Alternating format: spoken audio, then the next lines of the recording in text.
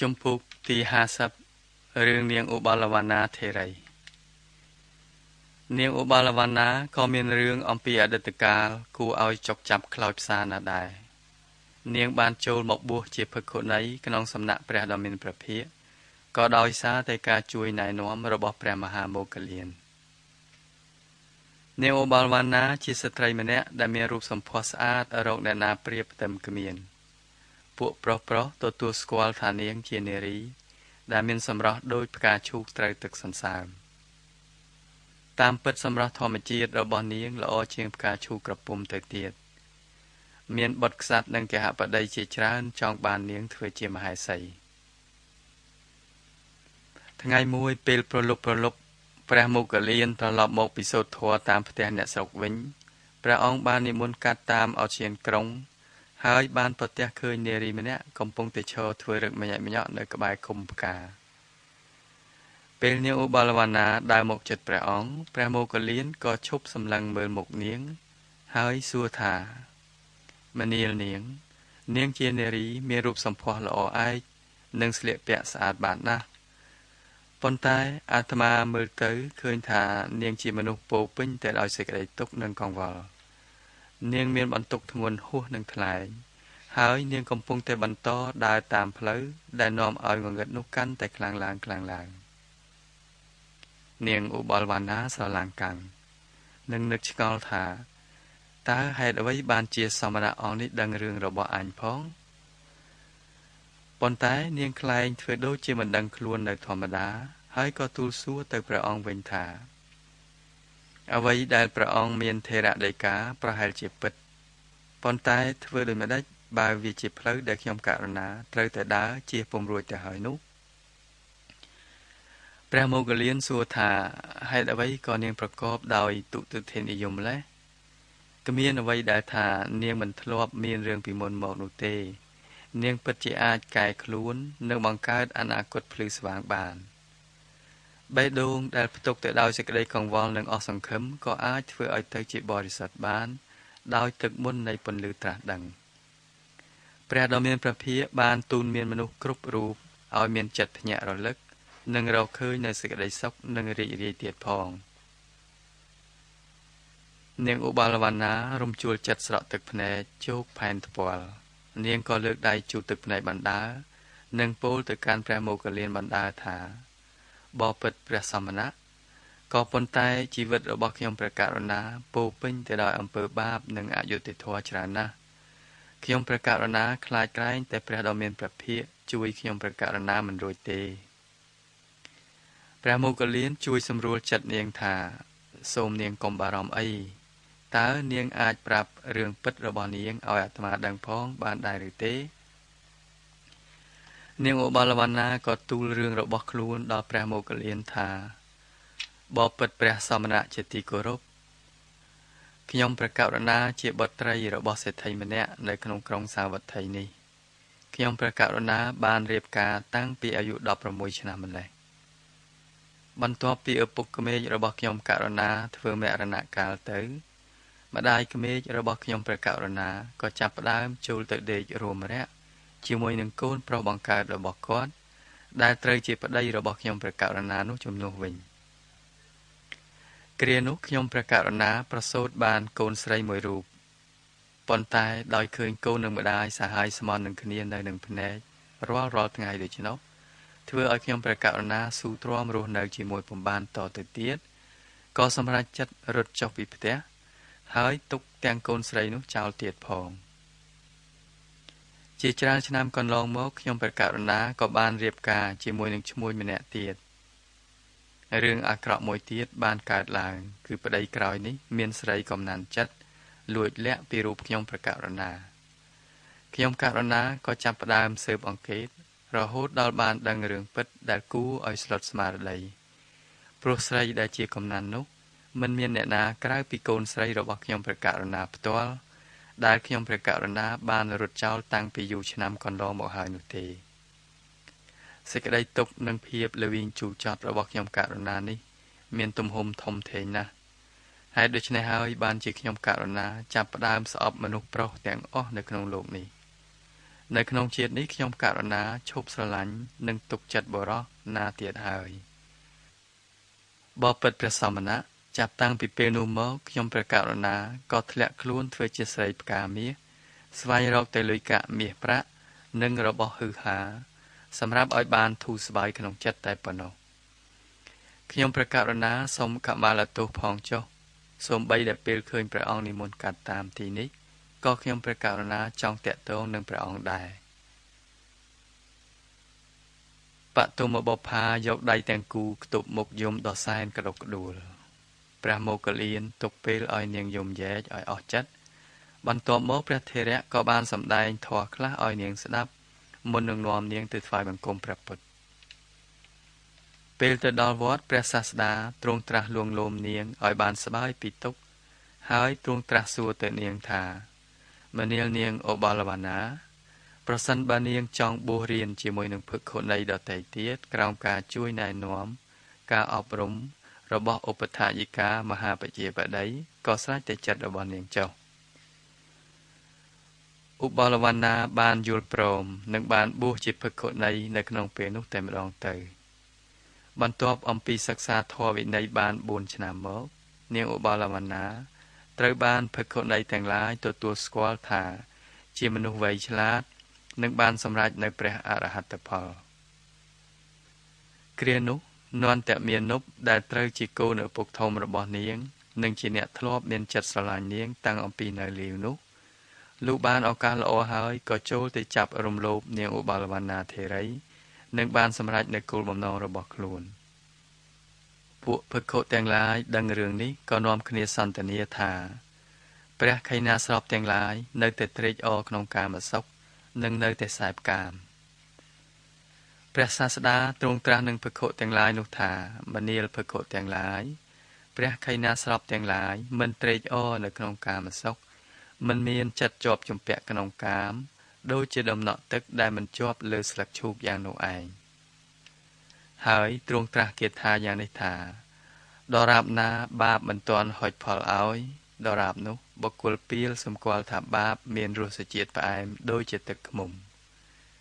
ពេលណាបាបឲ្យផល ពេលនោះបុគ្គលពៀលនឹងបានជួបប្រទះនៅសេចក្តីទុក្ខដោយពិតប្រាកដចំណេក្រោយមកភគនៃឧបលវណ្ណា បានប្រែទៅជាអ្នកគ្រូបង្រៀនម្នាក់ដ៏ចំណាប់និងជាទុតិយសាវិការបស់ព្រះពុទ្ធដ៏ប្រពៃទៀតផង ចប់ចំពុកទី50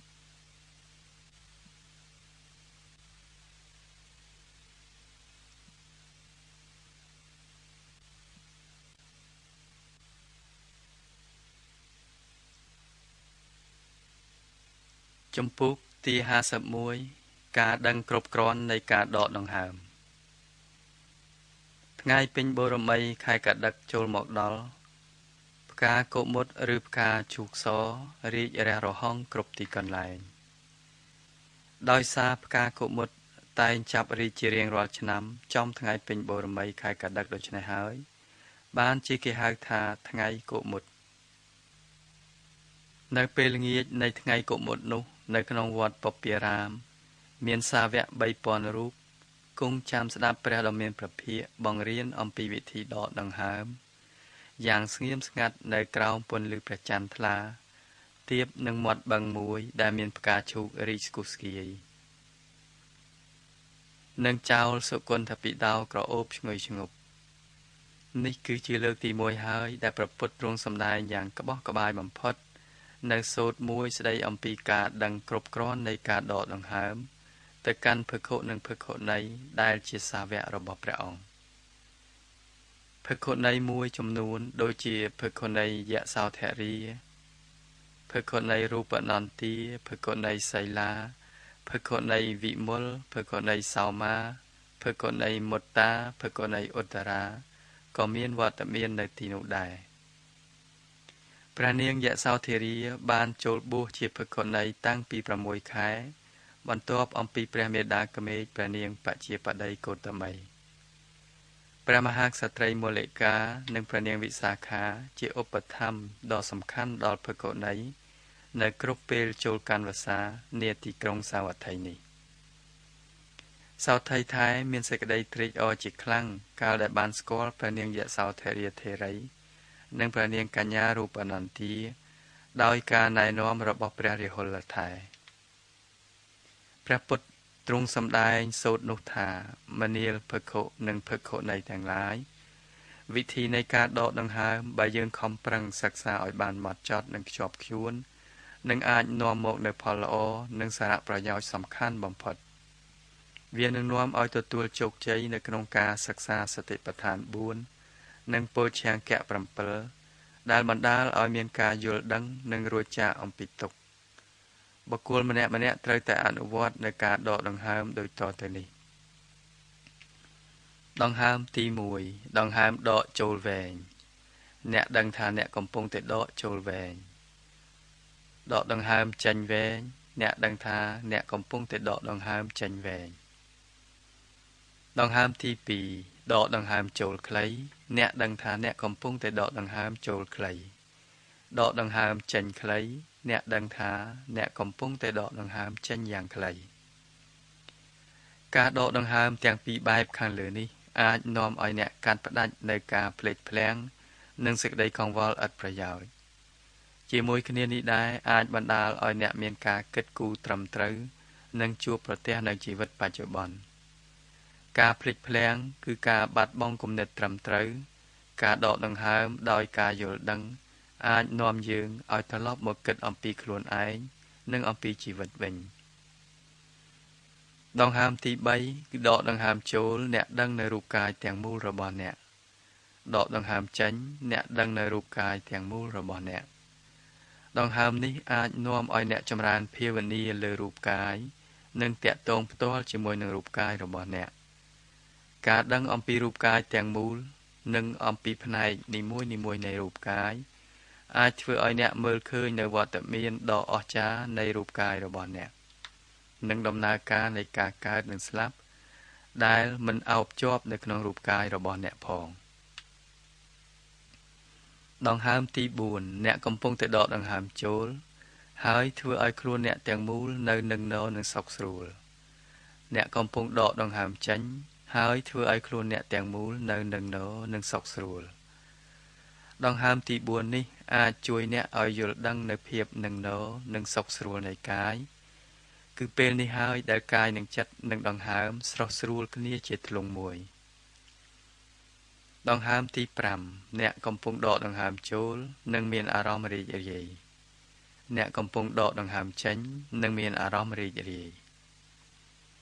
ដង្ហើមទី6អ្នកកំពុងដកដង្ហើមចូលនឹងមានអារម្មណ៍សប្បាយអ្នកកំពុងដកដង្ហើមចេញនឹងមានអារម្មណ៍សប្បាយជាមួយនឹងដង្ហើមទាំងពីរនេះ អ្នកអាចឆ្លងកាត់វិស័យនៃអារម្មណ៍ដង្ហើមទាំងពីរនេះបង្កើតឲ្យមានសភាពស្ងប់ស្ងៀមនិងរីករាយដែលអាចចិញ្ចឹមទុកក្នុងកាយនិងចិត្តដោយសារការបញ្ឈប់នៅគំនិតរប៉ាត់រប៉ាយនិងភ្លេចភ្លាំង ហើយអ្នកនឹងដឹងខ្លួនឯងវិញនាពេលបច្ចុប្បន្ននេះ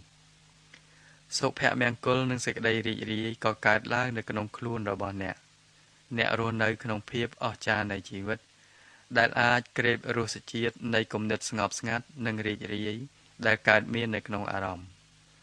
ដោយសារការជួបប្រទះជាមួយនឹងជីវិតដ៏អស្ចារ្យបែបនេះហើយទើបអ្នកអាចបដូរអារម្មណ៍កណ្ដាលឲ្យទៅជាអារម្មណ៍សប្បាយរីករាយបាន។ ដូច្នេះដង្ហើមទាំងពីរនេះពិតជាអាចធ្វើឲ្យអារម្មណ៍របស់អ្នកសប្បាយរីករាយដង្ហើមទី7អ្នកកំពុងដកដង្ហើមចូល អ្នកដឹងនៅសកម្មភាពនៃគំនិត ឬអារម្មណ៍ទាំងឡាយនៅក្នុងខ្លួនរបស់អ្នកអ្នកកំពុងតែដកដង្ហើមចេញនិងអ្នកដឹងនៅសកម្មភាពនៃគំនិត ឬអារម្មណ៍ទាំងឡាយក្នុងខ្លួនរបស់អ្នក ដង្ហើមទី8អ្នកកំពុងដកដង្ហើមចូល និងអ្នកធ្វើឲ្យសកម្មភាពនៃគំនិត ឬអារម្មណ៍ទាំងឡាយក្នុងខ្លួនរបស់អ្នកស្ងប់ និងសុខស្រួល អ្នកកំពុងដកដង្ហើមចេញនិងធ្វើឲ្យសកម្មភាពនៃគំនិត ឬអារម្មណ៍ទាំងឡាយនៅក្នុងខ្លួនរបស់អ្នកស្ងប់និងសុខស្រួលជាមួយនឹងដង្ហើមទាំងពីរនេះអាចធ្វើឲ្យអ្នកមើលឃើញវែងឆ្ងាយទៅក្នុងអារម្មណ៍ទាំងឡាយដែលកើតឡើង នៅក្នុងខ្លួនរបស់អ្នក ទោះបីជាអារម្មណ៍នោះសប្បាយក្តីមិនសប្បាយក្តី ឬនៅកណ្ដាលធម្មតាក្តីនឹងអាចឲ្យអ្នកធ្វើអារម្មណ៍ទាំងនោះស្ងប់និងសុខស្រួលបាន បើអ្នកដឹងអំពីអារម្មណ៍ផ្ទាល់ខ្លួនរបស់អ្នក ហើយអាចមើលជ្រៅទៅដល់ឫសគល់និងធម្មជាតិរបស់វា អ្នកពិតជាអាចទប់និងធ្វើឲ្យអារម្មណ៍ទាំងនោះស្ងប់និងសុខស្រួលបានទោះបីអារម្មណ៍នោះជាគំនិតអាក្រក់កើតឡើងអំពីសេចក្តីលោភៈ ទោសៈនិងមោហៈក៏ដោយដង្ហើមទី9អ្នកកំពុងដកដង្ហើមចូល អ្នកដឹងនៅទឹកចិត្តរបស់អ្នកអ្នកកំពុងដកដង្ហើមចេញ និងអ្នកដឹងនៅទឹកចិត្តរបស់អ្នកដង្ហើមទី10អ្នកកំពុងដកដង្ហើមចូលនឹងធ្វើឲ្យចិត្តរបស់អ្នកសប្បាយនិងសុខស្រួល អ្នកកំពុងដកដង្ហើមចេញនឹងធ្វើឲ្យចិត្តរបស់អ្នកសប្បាយនិងសុខស្រួល ដង្ហើមទី11អ្នកកំពុងដកដង្ហើមចូលនឹងកំពុងផ្ចង់ចិត្តរបស់អ្នក អ្នកកំពុងដកដង្ហើមចេញ និងកំពុងផ្ចង់ចិត្តរបស់អ្នកដង្ហើមទី12អ្នកកំពុងដកដង្ហើមចូល និងកំពុងដកចិត្តរបស់អ្នកអ្នកកំពុងដកដង្ហើមចេញ និងកំពុងដកចិត្តរបស់អ្នកជាមួយនឹងដង្ហើមទាំង4នេះ អ្នកអាចឆ្លងកាត់វិស័យទី3ដែលជាចិត្ត ដង្ហើមទី9អាចនាំអ្នកឲ្យស្គាល់នៅសភាវៈទាំងអស់នៃចិត្ត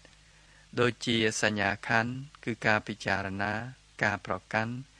ការសបាយ ការកើតទុក្ខនិងការមន្ទិលសង្ស័យអ្នកសង្កេតពិនិត្យនិងស្គាល់នៅសភាវៈទាំងនេះ ដើម្បីមើលឃើញជ្រៅទៅក្នុងសកម្មភាពនៃចិត្តឬអារម្មណ៍ពេលសកម្មភាពនៃចិត្តឬអារម្មណ៍ត្រូវបានសង្កេតពិនិត្យនិងទទួលស្គាល់រួចហើយ អ្នកអាចប្រមូលចិត្តរបស់អ្នកនិងធ្វើចិត្តនោះឲ្យស្ងប់និងសុខស្រួលបាន ចិត្តនេះកើតមានឡើងដោយអារម្មណ៍ទី10និងទី11ដង្ហើមទី12អាចធ្វើឲ្យអ្នករួចចាកផុតពីឧបសគ្គទាំងអស់នៃចិត្តដោយសារការភ្លឺស្វាងនៃចិត្តរបស់អ្នកទើបអ្នកអាចមើលឃើញនៅឫសគល់នៃសង្ខារវិញ្ញាណនិងអាចឈ្នះនៅឧបសគ្គទាំងអស់បាន ដង្ហើមទី13អ្នកកំពុងតែដកដង្ហើមចូលនិងកំពុងតែពិនិត្យនៅធម្មជាតិមិនទៀងទាត់អនិច្ចំនៃធម៌ទាំងអស់អ្នកកំពុងតែដកដង្ហើមចេញនិងអ្នកកំពុងតែពិនិត្យនៅធម្មជាតិមិនទៀងទាត់នៃធម៌ទាំងអស់ដង្ហើមទី14អ្នកកំពុងតែដកដង្ហើមចូលនិងកំពុងតែពិនិត្យនៅការវិនិច្ឆ័យអនត្តានៃធម៌ទាំងអស់ អ្នកកំពុងដកដង្ហើមចេញនិងកំពុងតែពិនិត្យនៅការវិនិច្ឆ័យឬសាបរលាបនៃធម៌ទាំងអស់ដង្ហើមទី15អ្នកកំពុងដកដង្ហើមចូល និងកំពុងចម្រើនភាវនានៅវិមុតតិការរំដោះទុក្ខអ្នកកំពុងតែដកដង្ហើមចេញ និងកំពុងចម្រើនភាវនានៅវិមុតតិដង្ហើមទី16អ្នកកំពុងតែដកដង្ហើមចូល និងកំពុងចម្រើនភាវនាឧបេក្ខា អ្នកកំពុងដកដង្ហើមចេញ និងកំពុងចម្រើនភាវនានៅឧបេក្ខា ជាមួយនឹងដង្ហើមទាំង4នេះ អ្នកអាចឆ្លងកាត់វិស័យនៃធម៌មេរមនិងសមាធិចិត្តដើម្បីពិនិត្យមើលលើធម្មជាតិពិតនៃធម៌ទាំងអស់ជាដំបូងគឺការសង្កេតពិនិត្យទៅលើធម្មជាតិមិនទៀងនៃធម៌ទាំងអស់ព្រោះតែធម៌ទាំងអស់មិនទៀងទាត់ហើយ បានជាធម៌ទាំងអស់នោះត្រូវតែវិនាសសាបសូន្យ នៅពេលដែលអ្នកបានយល់ច្បាស់នៅធម្មជាតិមិនទៀងទាត់និងការវិនាសសាបសូន្យនៃធម៌ទាំងអស់អ្នកពិតជាមិនប្រតោងជាប់ដោយការវិលកើតវិលស្លាប់នៅក្នុងវដ្តសង្សារពុំចេះចប់នៅឡើយដោយសារហេតុនេះហើយអ្នកអាចរួចខ្លួននិងសម្រេចនៅវិមុតតិការផុតទុក្ខការរួចខ្លួនមិនមែនមានន័យថាកិច្ចវេះឬរត់ចេញពីជីវិតនោះទេ រួចខ្លួនក្នុងទីនេះ មានន័យថារួចខ្លួនអំពីចំណងតណ្ហា និងការវិលវល់នៅក្នុងវដ្តសង្សារដែលមានធម៌ជាប្រធាន នៅពេលដែលអ្នកមានឧបេក្ខានឹងបានសម្រេចនៅវិមុតតិអ្នកពិតជាអាចរស់នៅបានយ៉ាងសុខស្រួលនិងសប្បាយរីករាយនៅក្នុងជីវិតនេះមិនមានអ្វីអាចនឹងចងអ្នកបានទៀតទេ នេះហើយជាការព្រានប្រដៅរបស់ព្រះសាស្តា ដោយម្ដេចដែលហៅថាការពិនិត្យជ្រៅទៅក្នុងកាយចិត្តនិងធម៌អារម្មណ៍តាមវិធីដកដង្ហើមទាំង16យ៉ាងព្រះសម្មាគោតមបរមសាស្តាទ្រង់បានដាក់វិធីដកដង្ហើមទាំង16នេះឲ្យអនុវត្តនៅក្នុងការហាត់រៀនពោធិង្គៈ7ផងដែរគឺសតិ1ធម្មវិជ្ជយៈ1វិរិយៈ1បៃតិ1បស្សទ្ធិ1 សមាធិ1និងឧបេក្ខា1ភគុនិងភគុនៃទាំង3000អង្គបានស្ដាប់ការព្រានប្រដៅរបស់ព្រះសម្ពុទ្ធដោយសេចក្តីរីករាយនិងកក់ក្ដៅជាទីបំផុត នៅក្នុងរាត្រីពេញបូរមីខែកដឹកក្រោមពន្លឺព្រះចន្ទថ្លាសតថៃថែរំភើបចិត្តឥតឧបមានិងដឹងគុណចំពោះព្រះសារីបុត្រដែលបានធ្វើឲ្យរាត្រីដ៏អស្ចារ្យនេះកើតមានឡើង ថ្ងៃមួយខាងក្រោយមកភឹក្ខុអហេមសៈត្រឡប់មកពីបានបាតវិញ ដោយដំណើរត្រេតត្រោតនិងខ្លួនប្រានប្រឡាក់ជោគសុទ្ធតែឈាមសោតថៃថៃរត់ទៅជួយគ្រាអហេមសៈថែនិងនាំព្រះអង្គយកទៅកាន់ព្រះពុទ្ធភិក្ខុអហេមសៈទូលរៀបរាប់នៅហេតុផលដែលបានកើតឡើងនោះដល់ព្រះសម្ពុទ្ធថាបបពិតព្រះអង្គដ៏ចម្រើន នៅពេលដែលខ្ញុំព្រះអង្គចេញទៅបណ្ឌបាតនៅក្នុងក្រុងនោះ មានអ្នកខ្លះបានស្គាល់ខ្ញុំព្រះអង្គថាជាអតីតអង្គុលីមីគេនាំគ្នារុញខ្ញុំព្រះអង្គខ្ទប់ទៅនឹងគៀនផ្លូវហើយវាយតប់ខ្ញុំព្រះអង្គយ៉ាងខ្លាំងខ្ញុំព្រះអង្គមិនវាយតបពួកគេវិញទេខ្ញុំព្រះអង្គលើកដៃទាំងគូសំពះនិងទុកពេលឲ្យគេវាយឲ្យអស់ចិត្តជំនួសវិញ ពួកគេវាយខ្ញុំព្រះអង្គទាល់តែក្អួតធ្លាក់ឈាម ព្រះពុទ្ធទ្រង់ត្រាស់បង្គាប់ព្រះអានន្ទឲ្យយកទឹកមួយផ្តិលនិងកន្សែងមួយមកដោះលាងឈាមនោះចេញព្រះអង្គទ្រង់បង្គាប់សោថីថែឲ្យយកថ្នាំស្លឹកឈើទៅបុកឲ្យម៉ត់ល្អនិងយកមកបិទលើមុខរបួសទោះបីជាឈឺចុកចាប់ខ្លាំងយ៉ាងណាក៏ដោយក៏អហេមសៈថែមិនធ្ងោឬស្រែកយំឡើយព្រះសាស្តាទ្រង់ត្រាស់ថាមនាលអហេមសៈ ក្នុងថ្ងៃនេះការឈឺចុកចាប់ខ្លួនរបស់អ្នក បានលុបលាងនៅសេចក្តីទុក្ខទាំងឡាយដែលអ្នកមានតាំងពីមុនមក ការចេះអត់ធន់នឹងការឈឺចាប់ក្នុងសេចក្តីស្រឡាញ់និងការយល់ដឹង អាចលុបលាងសេចក្តីស្អប់ដែលមានតាំងពីរាប់ពាន់ជាតិកន្លងមកហើយមនាលអហេមសៈស្បងរបស់អ្នករហែកដាច់ដាច់អស់រលីងទៅហើយតើបាតរបស់អ្នកនៅឯណា អហេមសៈថែបង្គំទូលថាបបិទ្ធព្រះអង្គដ៏ចម្រើន គេនាំគ្នាបោកបំបែកចោលអស់ហើយព្រះដ៏មានព្រះភិក្ខទ្រង់ត្រាស់បន្តថាមនាលអហេមសៈតថាគតនឹងប្រាប់អានន្ទឲ្យរកស្បង់និងបាតថ្មីមកជូនអ្នកទៀត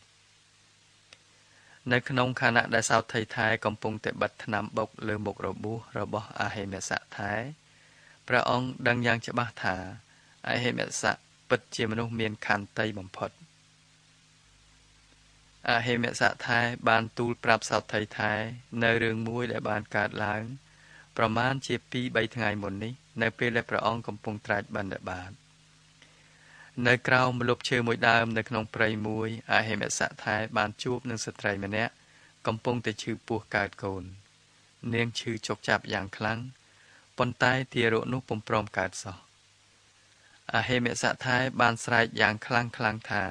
ឈឺខ្លាំងណាស់ឈឺខ្លាំងណាស់ ហើយក៏រត់ទៅបង្គំទូលសួរព្រះសម្ពុទ្ធជាម្ចាស់ថាតើត្រូវធ្វើយ៉ាងណាម្ដេចដើម្បីឲ្យទារកនោះកើតព្រះដ៏មានព្រះភិក្ខទ្រង់ត្រាស់ថាចូលអ្នករត់ទៅប្រាប់នាងវិញថាមនាលនាងស្រី តាំងពីថ្ងៃដែលអាត្មាកើតមកអាត្មាមិនដែលប៉ះពាល់ដល់ជីវិតសត្វមនុស្សទេដោយសារបុណ្យកុសលនោះហើយ នាងស្រីព្រមទាំងបុត្រនឹងបានទទួលនូវសេចក្តីសុខនិងគ្មានគ្រោះថ្នាក់អ្វីឡើយ អហេមសៈថៃក៏ក្រាបទូលថាបបពិតព្រះអង្គដ៏ចម្រើនខ្ញុំព្រះអង្គនឹងក្លាយទៅជាមនុស្សកុហកខ្លួនឯងហើយបើខ្ញុំព្រះអង្គពោលរបៀបនេះ ពីព្រោះខ្ញុំព្រះអង្គបានប៉ះពាល់ដល់ជីវិតយ៉ាងច្រើនរួចមកហើយព្រះពុទ្ធទ្រង់ត្រាស់បន្តថា បើអញ្ចឹងចូលអ្នកត្រឡប់ទៅប្រាប់នាងវិញថាមនាលនាងស្រី តាំងពីថ្ងៃដែលអាត្មាកើតក្នុងធម៌ដ៏ឧត្តមនោះមក អាត្មាមិនដែលប៉ះពាល់ដល់សត្វមានជីវិតទេ ដោយសារបុណ្យកុសលនោះហើយ នាងស្រីព្រមទាំងបុត្រនឹងបានទទួលនូវសេចក្តីសុខនិងគ្មានគ្រោះថ្នាក់អ្វីឡើយអហេមសៈថែនិមន្តត្រឡប់ទៅក្នុងព្រៃវិញយ៉ាងលឿនលុះដល់ហើយក៏ពោលនៅពាក្យទាំងអស់នោះឲ្យស្ត្រីដែលឈឺពោះនោះស្ដាប់ មួយសន្ទុះក្រោយមកស្ត្រីនោះក៏សម្រាលបុត្របានដោយស្រួលនិងមិនមានគ្រោះថ្នាក់អ្វីឡើយ អាហេមេសៈថៃក៏បានទទួលការកោតសរសើរយ៉ាងខ្លាំងអំពីព្រះដ៏មានព្រះភិក្ខនៅពេលដែលត្រឡប់មកដល់វត្តវិញចប់ជំពូកទី51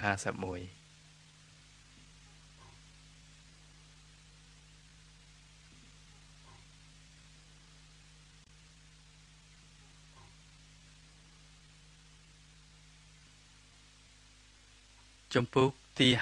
52សម្រស់ភឹកខុនៃសុភៈ នារដូវប្រាំងក្រោយមកទៀតព្រះសមណគោដមបរមសាស្តាទ្រង់យាងត្រឡប់ទៅគង់នៅភ្នំកិច្ចកោតទៀបក្រុងរាជក្រឹសគ្រូពេទ្យជីវកៈបានចូលទៅថ្វាយបង្គំព្រះដ៏មានព្រះភិក្ខបន្ទាប់ពីបានឮដំណឹងថាព្រះអង្គយាងមកដល់ទីក្រុងរាជក្រឹសនេះដោយឃើញព្រះបរមសាស្តាមានព្រះសុខភាពទន់ខ្សោយខ្លាំងគ្រូពេទ្យជីវកៈក៏សូមយាងព្រះអង្គទៅគង់សម្រាកព្រះកាយ នៅក្នុងចំការស្វាយរបស់ខ្លួន បានចំនួនពី3ថ្ងៃព្រះអានន្ទក៏បាននិមន្តទៅជាមួយព្រះបរមសាស្តាដែរគ្រូពេទ្យជីវកៈបានរៀបចំកុដនៅក្រោមដើមស្វាយលំពងនិងមានម្លប់ដ៏ត្រជាក់បំរុងទុកជាស្រេចសម្រាប់ព្រះពុទ្ធគង់គ្រូពេទ្យជីវកៈសូមព្រះអង្គមិនអោយយាងចេញទៅបណ្ឌបាតទេលោកបានតាក់តែងនៅចង្ហាន់ដែលមានសុទ្ធតែបន្លែ និងគ្រាប់ធញ្ញជាតិព្រមទាំងថ្នាំកម្លាំងដែលរងាប់អំពីជាតិស្លឹកផ្លែនិងឫសឈើថ្វាយព្រះអង្គសោយជារៀងរាល់ថ្ងៃនៅពេលជួបជុំគ្នាមួយមកជីវកៈបានបង្គំទូលព្រះពុទ្ធថាបបពិតព្រះអង្គដ៏ចម្រើន មានពាក្យចចាមអារាមពីមនុស្សខ្លះថាព្រះអង្គអនុញ្ញាតឲ្យភគុឆានសាច់គេពោលតេះដៀលថាព្រះសមណគោតម សណ្ដោសឲ្យគេសម្លាប់សត្វដើម្បីចិញ្ចឹមព្រះអង្គនិងព្រះសាវករបស់ព្រះអង្គមានអ្នកខ្លះទៀតបានទាំងចោទប្រកាន់ថាព្រះគោតមបានតម្រូវឲ្យអ្នកស្រុកយកសាច់មកប្រគេនចំពោះភគុសង្ឃខ្ញុំព្រះករុណាដឹងថារឿងនេះមិនពិតទេប៉ុន្តែព្រះអង្គគួរតែទ្រង់ព្រះមេត្តាប្រោសពិចារណានៅរឿងនេះផងដែរ ព្រះពុទ្ធក៏ត្រាស់តបវិញថាមនាលជីវកៈគឺមិនពិតទេដែលអ្នកទាំងនោះនិយាយថាតថាគតអនុញ្ញាតឲ្យគេសម្លាប់សត្វដើម្បីធ្វើចង្ហាន់ប្រគេនដល់តថាគត និងភគុសង្ឃទាំងឡាយនោះ តាមការពិតតថាគតតែងតែពោលដាស់តឿននៅក្នុងរឿងនេះជាញឹកញយប្រសិនបើភិក្ខុអង្គណាមួយបានឃើញជាក់ស្ដែង នៅជនណាសម្លាប់សត្វក្នុងគោលបំណងយកសាច់មកធ្វើជាម្ហូប សម្រាប់ភិក្ខុណាមួយភិក្ខុនោះត្រូវតែប្រកែកជាដាច់ខាតទោះបីជាភិក្ខុអង្គនោះមិនឃើញគេសម្លាប់សត្វផ្ទាល់ភ្នែកក៏ដោយប៉ុន្តែឮគេប្រាប់ថាសម្លាប់សត្វនោះក្នុងនាមព្រះអង្គក៏ព្រះអង្គត្រូវតែប្រកែកដែរលើសអំពីនេះប្រសិនបើភិក្ខុនោះគ្រាន់តែសង្ស័យថាគេបានសម្លាប់សត្វក្នុងនាមខ្លួនក៏ខ្លួនត្រូវតែប្រកែកដែរ មនាលជីវកៈយោងតាមការប្រតិបត្តិនៃការបណ្ឌបាតភិក្ខុត្រូវតែទទួលអ្វីអ្វីទាំងអស់ឲ្យតែគេប្រគេនទោះបីជាសត្វនោះគេសម្លាប់ក្នុងនាមភិក្ខុក៏ដោយ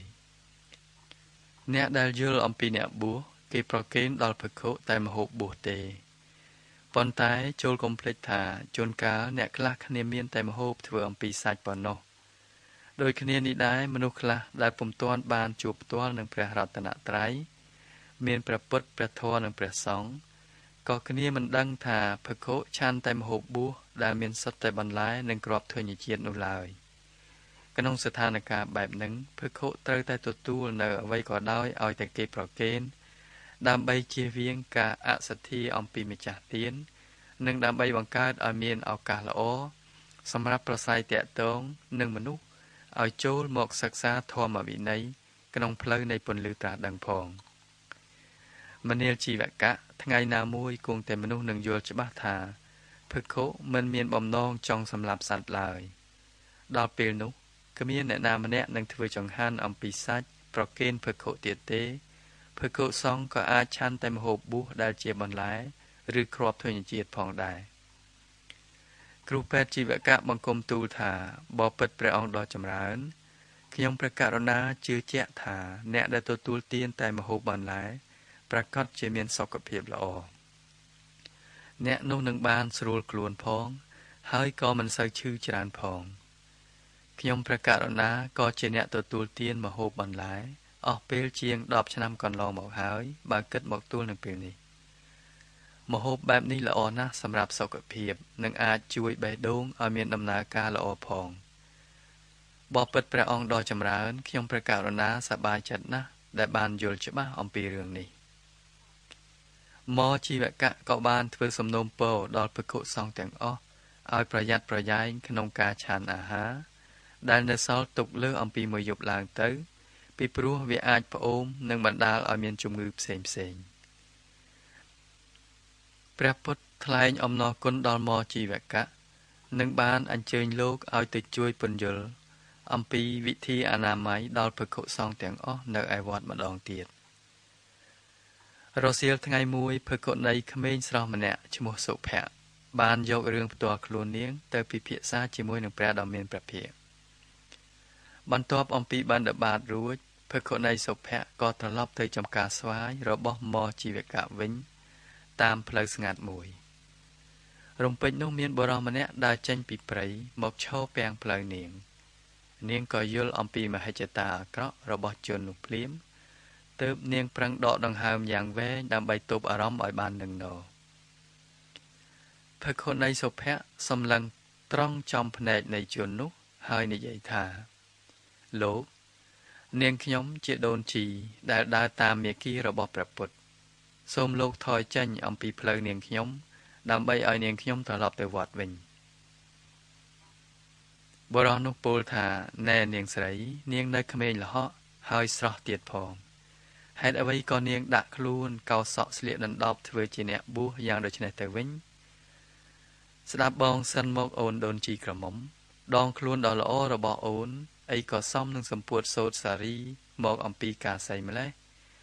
បងមិនដែលឃើញនារីឯណាមានរូបស្រស់ផូរផង់ដូចជាអូនអញ្ចឹងទេ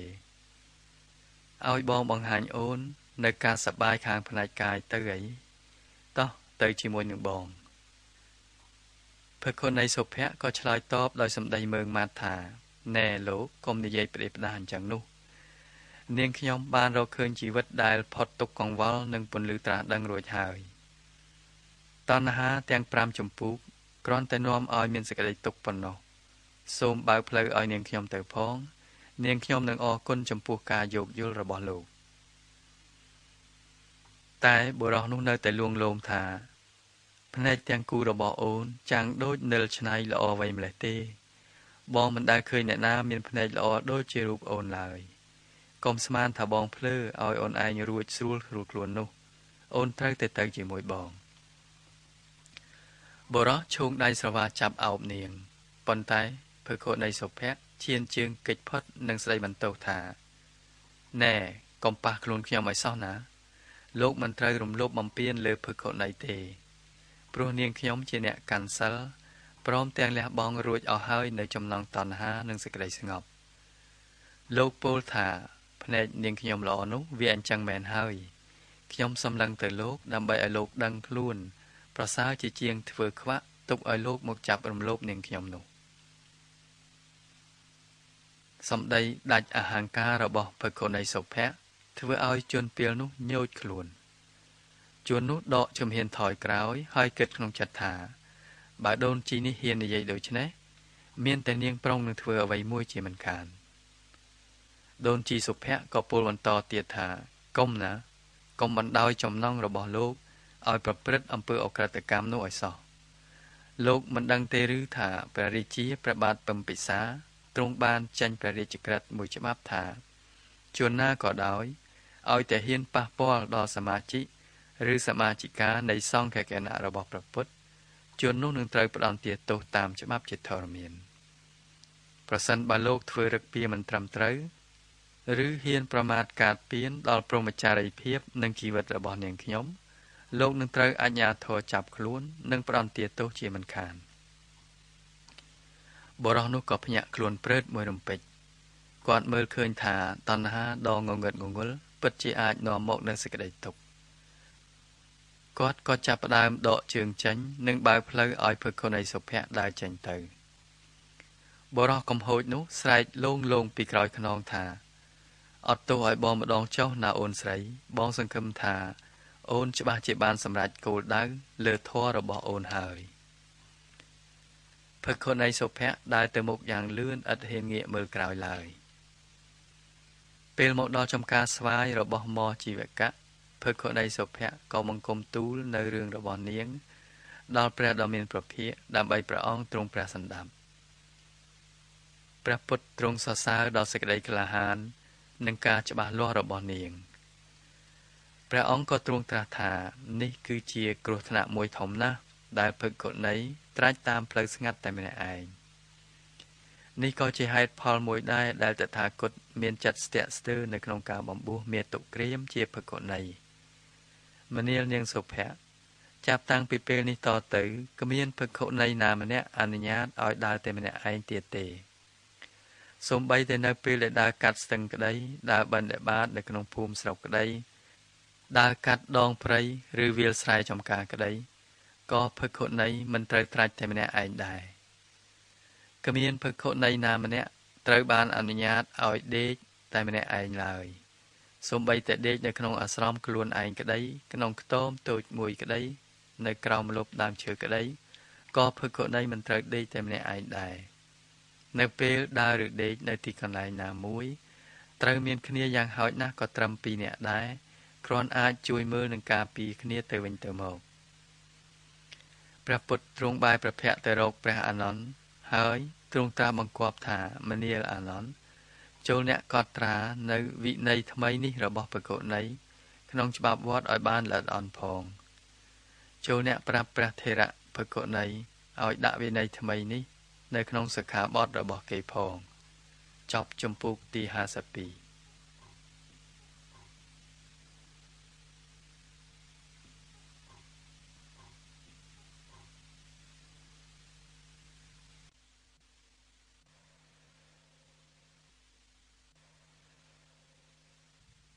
ចំពុកទី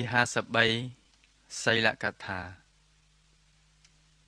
ពេលព្រះដ៏មានព្រះភិក្ខទ្រង់ពុទ្ធដំណើរជាមួយនឹងភិក្ខុ500អង្គចេញអំពីចំការស្វាយរបស់គ្រូពេទ្យជីវកៈទៀបក្រុងរាជក្រឹសសំដៅឆ្ពោះទៅកាន់នាលន្តក្រៀមមានបរិពាជក់មួយឈ្មោះសុបៃនិងកូនសិស្សរបស់គាត់ឈ្មោះព្រមទត្តដើរតាមពីក្រោយ។ បរិពាជុសុបិពោលពាក្យតេះដៀលសើចចំអកដល់ព្រះពុទ្ធព្រះធម៌និងព្រះសង្ឃដោយអនាយកបរិយាយឯព្រមទត្តដែលជាសិស្សបែរជាពោលពាក្យសរសើរដល់គុណព្រះពុទ្ធព្រះធម៌និងព្រះសង្ឃទៅវិញគ្រូនិងសិស្សប្រកែកគ្នាតឹងបំពង់កដែលប្រកាសពីក្រោយព្រះភិក្ខុសង្ឃទាំងឡាយនារាត្រីនោះព្រះពុទ្ធនិងព្រះភិក្ខុទាំងឡាយចូលទៅគង់នៅក្នុងសាលាដំណាក់ ក្នុងសួនឈ្មោះអំពរលទ្ធិកាដែលជាសួនព្រះរាជទ្រព្យដ៏ត្រជាក់របស់ព្រះបាទពំពិសាសុបិយបរិពាជក់និងសិស្សព្រមទត្តក៏ចូលទៅសម្រាកនៅក្នុងសួននោះអស់មួយរាត្រីដែរក្នុងបច្ចោសសម័យនៃរាត្រីនោះភឹកខុជាច្រើននាំគ្នាក្រោកហើយក៏ទៅអង្គុយប្រជុំគ្នានៅក្នុងរោងសម្រាកកាយមួយ ដើម្បីពិភាក្សាអំពីទស្សនៈផ្ទុយគ្នា រវាងបរិពាជក់ទាំងពីររូបនោះព្រះដ៏មានព្រះភិក្ខទ្រង់បានស្ដាប់ឮនៅពាក្យស្ងើចនៃភិក្ខុទាំងឡាយនោះទើបទ្រង់យាងចូលមកកាន់រោងសម្រាកនោះដែរហើយក៏ទ្រង់ត្រាស់នឹងភិក្ខុទាំងឡាយនោះថាមនាលភិក្ខុទាំងឡាយពេលណាក៏ដោយឲ្យតែអ្នកស្ដាប់ឮគេនិយាយបរិហាគេតេះដៀលឬសើចំអកដល់តថាគតក្តីព្រះធរក្តីនិងព្រះសង្ឃក្តី អ្នកទាំងឡាយមិនធ្វើគំនុំ មិនធ្វើសេចក្តីត្រេកអរមិនធ្វើសេចក្តីអអន់ចិត្តចំពោះពួកគេទាំងអស់នោះឡើយអារម្មណ៍បែបនឹងនាំឲ្យតែឈឺដល់ខ្លួនអ្នកទៅវិញទេមនាលភិក្ខុទាំងឡាយនៅពេលណាក៏ដោយឲ្យតែអ្នកស្ដាប់ឮគេពោលសរសើរដល់តថាគតក្តី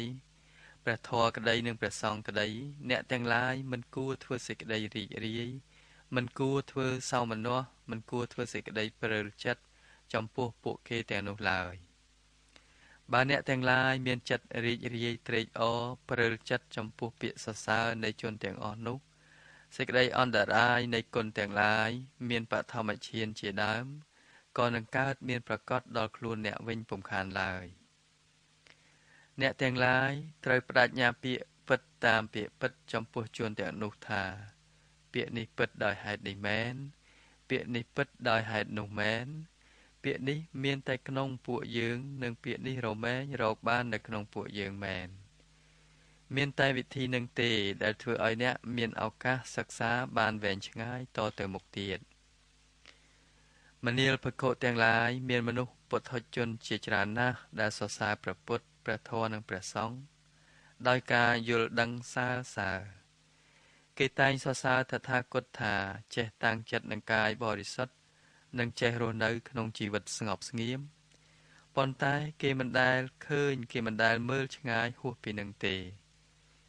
អ្នកដែលបានយល់ដឹងព្រះធម៌បានដោយប្រពៃនឹងជ្រៅជ្រះនោះ គេពោលពាក្យសរសើរតថាគតតិចតួចណាស់ព្រោះគេយល់នៅបញ្ញាពិតនៃសេចក្តីត្រាស់ដឹង បញ្ញានៃការត្រាស់ដឹង មានជំរឿមានកម្រិតខ្ពង់ខ្ពស់និងគួរឲ្យស្ញប់ស្ញែងបញ្ញានៃការត្រាស់ដឹង អាចពុះពៀលើគំនិត និងពាក្យសម្ដីគ្រប់បែបយ៉ាងបានមនាលភគទាំងឡាយមនុស្សពុទ្ធជន កាលបើពោលពាក្យសរសើរគុណរបស់តថាគតដោយគុណជាតិណាហើយគុណជាតិនោះ មានប្រមាណតិចតួចស្រួចស្ដើងណាស់គឺបានត្រឹមតែសិលឬសិក្ខាបទ3យ៉ាងប៉ុណ្ណោះ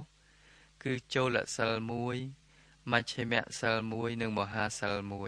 1ពុទ្ធជនតែងពោលសរសើរថា ព្រះសម្ពុទ្ធទ្រង់បានលះបង់ឬវាចាកស្រឡះហើយ នៅចូលសិលគឺសិក្ខាបទតូចតាចទាំងឡាយ ដូចជាទី1វាចាកអំពើសម្លាប់បាណាតិបាតអំពើលួចអតនេទានា អំពើមិនប្រសើរគឺសែបនៅមេថនធម៌ឬផិតក្បត់អព្រហ្មចរិយៈទី2វាចាកនិយាយភូតកុហកមុសាវាទនិយាយបំបែកបំបាក់បិសុណាវាចា ប្រើសម្ដីមានទោសភរសវាចានិយាយពាក្យមិនពិតសម្ភបលិបៈទី3វាកាប់ឈើព្រៃដែលដុះមិនជាប់នឹងដី និងឈើដើមដែលដុះជាប់ទៅនឹងដី ទី4វាចាបរិភោគផាត់នៅក្នុងកាលខុសហួសពេលថ្ងៃត្រង់ឬក្នុងពេលរាត្រីវាចាការមើលរបាំ ស្ដាប់ចម្រៀងនិងភ្លេងប្រគំវាស្អិតស្អាងកាយដោយគ្រឿងអលង្ការ គ្រឿងក្រអូប មានក្រមួន ទឹកអប់ផ្កាកំរង និងគ្រឿងលាបលនផ្សេងផ្សេង វាចាការអង្គុយឬដេកនៅលើអាសនៈដ៏ខ្ពស់ឬល្អប្រណិត វាចាការកាន់លុយកាក់ឬមាសប្រាក់ជាដើម ទី5វាចាទទួលនៅស្រូវធញ្ញជាតិសាច់ឆៅស្រីទាសកឈ្នួលបំរើប្រុសឬស្រី ចិញ្ចឹមសត្វគោនិងក្របីពពែនិងជៀមមាន់ទានិងជ្រូកដំរីនិងសេះចិញ្ចឹមសត្វព្រៃតូចធំគ្រប់ប្រភេទនិងទទួលដីធ្លីឡា ទី6វាចាធ្វើទូតកម្មគឺអ្នកនាំសម្បត្តិឬពាក្យបណ្ដាំរបស់ក្រហោះពីផ្ទះមួយទៅផ្ទះមួយទៀតវាចាធ្វើជាឈ្មួញកណ្ដាលវាចាការទិញនិងការលក់វាចាការឆបោកនិងការបន្លំដោយភ្នែកជញ្ជីងឬរង្វាស់រង្វាល់ផ្សេងផ្សេងវាចាការប្រព្រឹត្តអំពើវាចបំភ័ន្តបញ្ឆោតបោកប្រាស់បំភ័ន្តដោយរបស់ប្លอม វាចាប្រព្រឹត្តអំពើខុសខើគ្រប់បែបយ៉ាង ដូចជាការកាប់សម្លាប់ប្លន់កំហែងយកទ្រព្យសម្បត្តិអ្នកស្រុកជាដើម។មនាលភគទាំងឡាយមនុស្សពុទ្ធជនពលសរសើរគុណតថាគតដោយពាក្យក្នុងចូលសិលយ៉ាងដូចនេះឯងមនាលភគទាំងឡាយមនុស្សពុទ្ធជនតែងពលសរសើរតថាគតថាបានលះបង់និងវាចាកស្រឡះហើយ នៅមជ្ឈមសិល គឺសិក្ខាបទដែលតឹងបង្គួរដូចជា ទី1វាចាកការកាប់រុក្ខជាតិដែលដុះអំពីពូជទាំង5យ៉ាង គឺរឹសឬមើមួយដើមមួយថ្នាំងមួយចុងឬត្រួយមួយនិងក្របមួយ ទី2វាចាការសន្សំរបស់ទុកលើសអំពីសេចក្តីត្រូវការ មានគ្រឿងស៊ីគ្រឿងផឹក ស្បង់ចៃពរយានជំនិះទីដេកគ្រឿងលាបគ្រឿងក្រអូប គ្រឿងអាមិស័កជាដើមលៈទី3វាចាការមើលនិងការស្ដាប់ការប្រគំតន្ត្រីចម្រៀងរបាំមហោស្រពគងស្គររកាំងគំនូលបែងដំដែកជលដំរីជលគោជលក្របីជលពពែជលមន់ជលចាបឬលលក ប្រណាំងសេះប្រដាល់គុណដំបងចំបាប់លេងច្បាំងគ្នាលាក់ទី4 វាចាកការលេងល្បែងបាសកាមានបាសកាក្រឡា8គឺរែកបាសកាក្រឡា10ចតុរង្គបាសកាអាយដអាកាសលេងទាយទឹកភ្លៀងលបែងផ្ទាត់ក្របឃ្លីហៀងហឹងកូនគោលរលាស់ទឹកលាក់ឲ្យទាយរូបអង្គុញផ្លុំបៃស្លឹកនាងកលតូចដាំដូងកង្ហាល់បាយលុកបាយឡសរសេរអក្សរខ្យល់ឲ្យទាយស្ដាច់ចង់ កំប្លែងត្រាប់គេដើម្បីសើចលេងឡាទី5វាចាកការដេកឬអង្គុយលើអាសនៈដ៏ខ្ពស់ឬដ៏ប្រណិតឧចាសាយនៈមហាសាយនាដូចជាលើកៅអីឬក្រែមានជើងខ្ពស់ព្រំឬកំរាលមានពណ៌ឬរោមព្រំដែលធ្វើពីរោមឬស្លាបសัตว์មានប៉លិនខ្សែសយមាសធ្វើអំពីសរសៃសូត្រចាក់ស្រេះដោយរតនវត្ថុ កំរាលរោមសัตว์អាចចំណុះស្រីរបាំ16នាក់រាំបានកំរាលលើខ្នងដំរីកំរាលលើខ្នងសេះកំរាលលើរត់កំរាលលើធ្វើអំពីស្បែកខ្លាកំរាលធ្វើអំពីស្បែកឆ្លុះឬស្បែកសត្វដតីទីដេកមានពីដានពណ៌ក្រហមខ្នើយកាយឬខ្នើយគងមានពណ៌ក្រហមឡា ទី6វាចាការតបតែង ឬការសម្អិតសម្អាងកាយដោយគ្រឿងក្រអូបឬផ្កាភ្ញីដោយការច្របាច់រិតលុញអវយវៈឲ្យសមល្អដោយការផ្ងូតទឹកគក់ច្របាច់ឆ្លោះកញ្ចក់ប្រើគ្រឿងលាបគ្រឿងលម្អិតសម្រាប់ប្រោះមុខចំណងភ្នួងសក់ឈើច្រត់បំពង់ថ្នាំដាវព្រះខ័នឆាត់ស្បែកជើងវិចិត្រមកុដឬក្បាំងមុខកែវមណី ស្លៀកស្នៀតសក់ផ្លិតកន្ទុយឬស្លាបសัตว์ស្បង់មានជាយស្លុយទី7វាចាការពោលពាក្យមិនត្រឹមត្រូវដេរឆានកថា ដូចជាវាចានិយាយអំពីស្ដេចអំពីចៅអំពីអាមាត្យធំ អំពីភ័យអំពីចម្បាំងអំពីអាហារអំពីទឹកផឹកអំពីស្បង់អំពីចៃពោអំពីទីដេកអំពីផ្កំរងផ្កាអំពីគ្រឿងក្រអូប អំពីញាត អំពីយានជំនិះអំពីស្រុកភូមិអំពីនិគមអំពីនគរអំពីជនបទ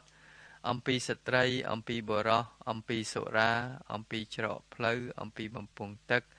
អំពីញាតដែលស្លាប់ទៅហើយ អំពីពាក្យឥតប្រយោជន៍លៈទី8វាចាការប្រើពាក្យដេញដោលឬសំឡុតគំរាម ដូចជាពាក្យថា អ្នកឯងមិនចេះដឹងធម៌វិន័យនេះទេ ខ្ញុំទើបចេះធម៌វិន័យនេះ អ្នកប្រតិបត្តិធម៌វិន័យនឹងខុសទេខ្ញុំទើបប្រតិបត្តិធម៌វិន័យនឹងត្រូវសម្ដីអ្នកឥតមានប្រយោជន៍ទេសម្ដីខ្ញុំទើបមានប្រយោជន៍ឡាទី9វាចាកការធ្វើទូតកម្មគឺអ្នកនាំសារឬពាក្យបណ្ដាំរបស់ក្រហោះពីផ្ទះមួយទៅផ្ទះមួយដូចជាថាចូលលោកនៅទីនេះចុះឬនៅទីនោះ ចូលលោកយករបស់នេះទៅត្រង់នេះឬត្រង់នោះឡា ទី10វាចាកការពោលពាក្យកុហកដូចជាពោលពាក្យបញ្ចើចបញ្ជោបញ្ឆិតបញ្ឈៀងមើលងាយមើលថោកឡាមនាលភគទាំងឡាយពុទ្ធជនពោលសរសើរគុណតថាគតដោយពាក្យក្នុងមជ្ឈមសិលយ៉ាងដូចនេះឯងមិនដូចសាមណៈព្រាមទាំងឡាយក្នុងពួកមួយដែលអ្នកស្រុកឲ្យភោជនបរិភោគដោយសទ្ធាហើយ បែរជាចិញ្ចឹមជីវិត ដោយការកាប់ព្រៃឈើឲ្យវិនាសដោយការសន្សំទ្រព្យទុក ដោយការស្ដាប់និងមើលល្បែងកំសាន្តដោយការលេងបាសកាដោយកិរិយាអង្គុយឬដេកនៅក្នុងទីដ៏ខ្ពស់ឬប្រណិត ដោយតបតែងកាយដោយពោលពាក្យអកុសល ដោយពលពាកប្រណាំងប្រជែងដោយធ្វើខ្លួនអ្នកជាអ្នកនាំសារទៅឲ្យក្រហោះ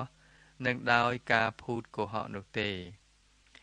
មនាលភគៈទាំងឡាយមនុស្សពុទ្ធជន តែងពោលសរសើរតថាគតថា បានលះបង់និងវាចាកស្រឡះហើយ នៅមហាសិលឬបណិតសិលគឺសិក្ខាបទដែលតឹងរឹងបំផុត ដូចជាទី1វាចាកការចិញ្ចឹមជីវិតដោយមច្ឆាជីវៈព្រោះដេរិឆានវិជ្ជា ដូចជាការទុះទាយនៅអវយវៈការទាយនិមិត្តហេតុ ការទាយឧត្តបាត មានរន្ទះបាញ់ជាដើម ការទាយយល់សពទាយលក្ខណៈរូបកាយទាយវត្ថុកណ្ដុលកាត់សម្ពុតអាវជាដើមនិយាយអំពីការបូជាដោយភ្លើង បូជាដោយវែកការបង្វិលពពិលបូជាដោយអង្កាមបូជាដោយកន្ទក់បូជាដោយអង្គបូជាដោយទឹកដោះរាវបូជាដោយប្រេង បូជាដោយមាត់គឺសោតរបៀនបូជាដោយឈាម រៀនវិជ្ជាជីវៈទស្សទាយអវយវៈវិជ្ជាជីវៈទាយភូមិឋានសង់ផ្ទះវិជ្ជាទាយស្រែចម្ការវិជ្ជាស្គាល់ព្រៃខ្មោចពាត់សីមាខ្មោចវិជ្ជាការពារភូមិឋានវិជ្ជាស្ដោះពឹសពោះមើលមនុស្សពោះចឹកឬសោតមុនហៅពោះឲ្យមកបើកពឹសវិញវិជ្ជារក្សាពឹសវិជ្ជាស្ដោះក្អែបខ្ទួយតិចវិជ្ជាស្ដោះកណ្ដុលខំ វិជ្ជាទាយសម្រែកសត្វស្លាបសម្រែកសត្វក្អែកបូលជាដើម វិជ្ជាសម្រាប់រារាំងសព្រួញ វិជ្ជាមើលនៅស្នាមដានជើងមរឹកលៈទី2វាចាការចិញ្ចឹមជីវិតដោយមច្ឆាជីវៈព្រោះដេរឆានវិជ្ជាដូចជាការទាយលក្ខណៈដំបងឬឈើច្រត់ទាយលក្ខណៈសម្ពុតអាវទាយលក្ខណៈសាស្ត្រាវុធ ទាយលក្ខណៈសព្រួញ ទាយលក្ខណៈធ្នូ ទាយលក្ខណៈមនុស្សស្រីឬប្រុសទាយលក្ខណៈក្មេងស្រីឬប្រុសទាយលក្ខណៈខ្ញុំកំដរស្រីឬប្រុសទាយនៅលក្ខណៈដំរី ទាយលក្ខណៈសេះទាយលក្ខណៈក្របីទាយលក្ខណៈគោទាយលក្ខណៈពពែទាយលក្ខណៈកេះទាយលក្ខណៈមន់ទាយលក្ខណៈចាបឬគ្រួច លក្ខណៈសន្សង លក្ខណៈគ្រឿងផ្ទះឬកំពូលផ្ទះ ទាយលក្ខណៈអណ្ដើកទាយលក្ខណៈមរឹកលៈទី3វាចាការចិញ្ចឹមជីវិតដោយមច្ឆាជីវៈពីព្រោះដេរឆានវិជ្ជាដូចជាការទាយលើកតបរបស់ព្រះរាជាថាគួរស្ដេចចេញច្បាំងក្នុងថ្ងៃនេះ ឬគួរចូលមកក្នុងថ្ងៃនោះព្រះរាជា ខាងក្នុងនឹងរុករៀនចូលទៅព្រះរាជាខាងក្រៅនឹងថយចេញព្រះរាជាខាងក្រៅរុករៀនចូលមក ព្រះរាជាខាងក្នុងថយចេញទៅព្រះរាជាខាងក្នុងនឹងមានជ័យជំនះព្រះរាជាខាងក្រៅនឹងបរាជ័យលៈទី4វាចាការចិញ្ចឹមជីវិតដោយមច្ឆាជីវៈព្រោះដេរឆានវិជ្ជាដូចជាទាយថា នៅក្នុងថ្ងៃឯណោះនឹងមានចន្ទគ្រាសនឹងមានសូរគ្រាសនឹងមានអ្នកខ្សត្រគ្រាសគឺផ្កាយព្រះគ្រួសដើរចូលរួមជាមួយនឹងព្រះអាទិត្យឬព្រះច័ន្ទ ឬផ្កាយណាមួយព្រះច័ន្ទនិងព្រះអាទិត្យដើរក្នុងផ្លូវតែមួយព្រះច័ន្ទនិងព្រះអាទិត្យដើរខុសផ្លូវគ្នាទាយថានឹងមានឧក្កបាទគឺដុំភ្លើងដ៏ធំធ្លាក់ចុះមកពីលើអាកាសនឹងមានកម្ដៅក្នុងទិសទាំងឡាយនឹងមានផែនដីកម្រើករញ្ជួយខ្លាំងនឹងមានផ្គរលាន់ប៉ុន្តែឥតភ្លៀងនឹងមានព្រះអាទិត្យព្រះច័ន្ទផ្កាយរះឡើងឬក៏អស់ស្រង់គត់ទៅវិញ នឹងមានពពកបាំងឬក៏ថ្លាភោផងលៈទី5វាចាការចិញ្ចឹមជីវិតដោយមច្ឆាជីវៈព្រោះដេរឆានវិជ្ជាដូចជាទាយថាក្នុងឆ្នាំនេះ មានភ្លៀងច្រើនឬតិច កាចឬស្លូតឆ្នាំនេះសម្បូរបាយឬខ្សត់បាយឆ្នាំនេះមានសង្គ្រាមឬឥតសង្គ្រាម ឆ្នាំនេះមានរោគរាតត្បាត ឬក៏ឥតរោគបៀតបៀនលៈ ទី6វាចាការចិញ្ចឹមជីវិតដោយមច្ឆាជីវៈព្រោះដេរឆានវិជ្ជា ដូចជាវិធីរៀបអពាពិពាមង្គលការនៅផ្ទះខាងស្រី វិធីរៀបអពាពិពាមង្គលការនៅផ្ទះខាងប្រុសវិធីព្រមព្រៀងគ្នាដោយចិត្តនឹងចិត្តស្នេហា វិធីផ្ដាច់ចំណងគូដណ្ដឹង វិធីប្រមូលទ្រព្យវិធីប្រកបរបរចំនួនវិធីធ្វើឲ្យគេស្រឡាញ់ចូលចិត្ត វិធីធ្វើឲ្យមានសេរីសួស្តីវិធីធ្វើឲ្យគេស្អប់គ្នា វិធីរក្សាកឬពន្លត់កូនចោលវិធីចងអណ្ដាតឬចង្ការឲ្យរឹងដោយមុន វិធីសូត្ររបៀនវិធីផ្លាស់ប្ដូរដៃឬក៏មិនឲ្យលឺសំឡេង ប្រស្នាកញ្ចក់មុនខាបយករូបដាក់ក្នុងកញ្ចក់ឬផ្តិលទឹក ហើយសួរប្រស្នា ប្រស្នាកុមារី មុនបញ្ចូលទេវតា នៅក្នុងខ្លួនកុមារី ហើយសួរប្រស្នាប្រស្នាទាស័យគឺមុនបញ្ចូលរូបទេវតាក្នុងខ្លួនទាស័យហើយសួរប្រស្នា វិធីបម្រើព្រះអាទិត្យវិធីបម្រើព្រះមហាព្រំ វិធីបញ្ចេញភ្លើងតាមមាត់ដោយមុន វិធីបញ្ចូលរូបក្នុងរូបអរៈទី7វាចាការចិញ្ចឹមជីវិតដោយមច្ឆាជីវៈ ពីព្រោះដេរិឆានវិជា ដូចជាការបន់ស្រន់លាបំណន់ធ្វើមុនការពៀបិសាច ធ្វើមុនការពៀផ្ទះធ្វើខ្ទើយ ប្រុសធ្វើរឹកដូចជាស្រីឬស្រីធ្វើរឹកដូចជាប្រុសធ្វើការចងឬគ្រាវ ធ្វើវិធីស្រោចទឹកឬបង្កក់ប្រសិទ្ធធ្វើវិធីផ្សំថ្នាំឲ្យក្អួតឬបញ្ចុះធ្វើវិធីផ្សំថ្នាំព្យាបាលជំងឺទូទៅ ធ្វើវិធីស្លប្រេងលៈ មនាលភគតទាំងឡាយមនុស្សពុទ្ធជនពលសរសើរគុណតថាគតដោយពាក្យក្នុងមហាសិលយ៉ាងដូចនេះឯងមិនមែនដូចជាសមណៈព្រាមនៅក្នុងពួកមួយ ដែលអ្នកស្រុកឲ្យភោជនបរិភោគដោយសទ្ធាហើយបែរជាទៅចិញ្ចឹមជីវិតដោយមិច្ឆាជីវៈពីព្រោះដេរឆានវិជាទាំងឡាយវិញនោះទេចប់ចំពុកទី53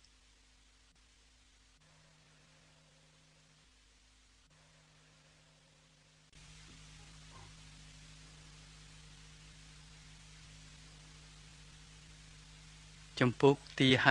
55សោណៈទណ្ឌព្រាមព្រះដ៏មានព្រះភិយទ្រង់ពុទ្ធដំណើរចេញពីអំពរលទ្ធិកាឧទ្យានឆ្ពោះទៅកាន់ដែនអង្គៈជាមួយនឹងព្រះភិក្ខុសង្ឃចំនួន500អង្គព្រះពុទ្ធនិងព្រះភិក្ខុសង្ឃទាំងឡាយបានគង់សំណាក់នៅទៀបមាត់ស្រះឈូកមួយ ដែលមានផ្ការីករហង្សគឺស្រះបោករណី ឈ្មោះកករីនៅជិតក្រុងចម្ប៉ាក្រុងចម្ប៉ាជាព្រះរាជទ្រព្យរបស់ព្រះបាទពឹមពិសា ទីក្រុងនេះ មានមនុស្សដ៏ច្រើនកកកអាស្រ័យនៅ និងបរិបូរទៅដោយស្មៅឈើទឹកនិងធញ្ញជាតិក្នុងគ្រានោះឯងមានប្រជាពលរដ្ឋជាច្រើននៅក្នុងក្រុងចម្ប៉ានាំគ្នាធ្វើដំណើរទៅស្ដាប់ព្រះពុទ្ធសម្ដែងធម៌ទេសនា ដោយមានព្រាហ្មណ៍ម្នាក់ឈ្មោះសោណទន ធ្វើដំណើរទៅជាមួយផងដែរសោណទនព្រាមមានតំណែងជាអភិបាលក្រុងចម្ប៉ាជាអ្នកមានសម្បត្តិស្ដុកស្ដំនិងមានកិត្តិយសដ៏ល្បីល្បាញទៀតផង នៅពេលដែលសោណទនព្រាមចូលទៅកាន់ដំណេកក្នុងវេលាថ្ងៃក្នុងប្រាសាទជាន់ខាងលើគាត់បានក៏លេចឃើញពួកព្រាមកហបតីនាំគ្នាដើរត្រសង ជាពួកជាកងកាត់មុខប្រាសាទ ចេញពីទីក្រុងចម្ប៉ាសោណទណ្ឌព្រាមមានសេចក្តីងឿងឆ្ងល់ក៏ហៅខត្តមហាមាតមកសួរថាណែខត្តដ៏ចម្រើនតើមានរឿងអ្វីកើតឡើងបានជាអ្នកក្រុងចម្ប៉ានាំគ្នាដើរត្រសងចេញពីទីក្រុងយ៉ាងដូចនេះខត្តមហាមាតក៏ឆ្លើយថាបបិទ្ធលោកម្ចាស់ដ៏ចម្រើនត្បិតអីព្រះសមណគោដមជាសាខៈបុត្រ ទ្រង់ពុទ្ធដំណើរទៅកាន់ចារឹកក្នុងដែនអង្គៈឥឡូវនេះព្រះអង្គកំពុងគង់នៅទៀបមាត់ស្រះបោករណីឈ្មោះកករាជាមួយនឹងព្រះភិក្ខុសង្ឃដែលជាសាវកចំនួន500អង្គពួកព្រាហ្មណ៍ទាំងឡាយនោះនាំគ្នាចូលទៅស្ដាប់ព្រះអង្គសម្ដែងធម្មទេសនា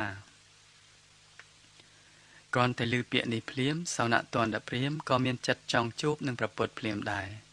រួចក៏បង្គាប់ឲ្យឧត្តមមហាមាត ចុះទៅខាត់ពួកកហបតីព្រាមទាំងឡាយឲ្យនៅរងចាំដើម្បីនឹងធ្វើដំណើរទៅជាមួយផងខតមហាមាតបានប្រាប់ពួកកហបតីព្រាមទាំងឡាយថាណែអ្នកទាំងឡាយដ៏ចម្រើនចូលអ្នកបងអងចាំមួយសន្ទុះសិនត្បិតអីលោកម្ចាស់សោណតននឹងចូលទៅគាល់ព្រះសមណគោដមដែរ ប៉ុន្តែកាលនោះមានព្រាមប្រមាណ500នាក់ដែលមកអំពីរាជសីមាផ្សេងផ្សេងមកអំពីដែនកាសីនិងដែនកោសលជាដើម មកអាស្រ័យនៅក្នុងក្រុងចម្ប៉ាដោយករណីកិច្ចណានីមួយ ដើម្បីនឹងបរិភោគនៅគ្រឿងបូជាយាញមួយ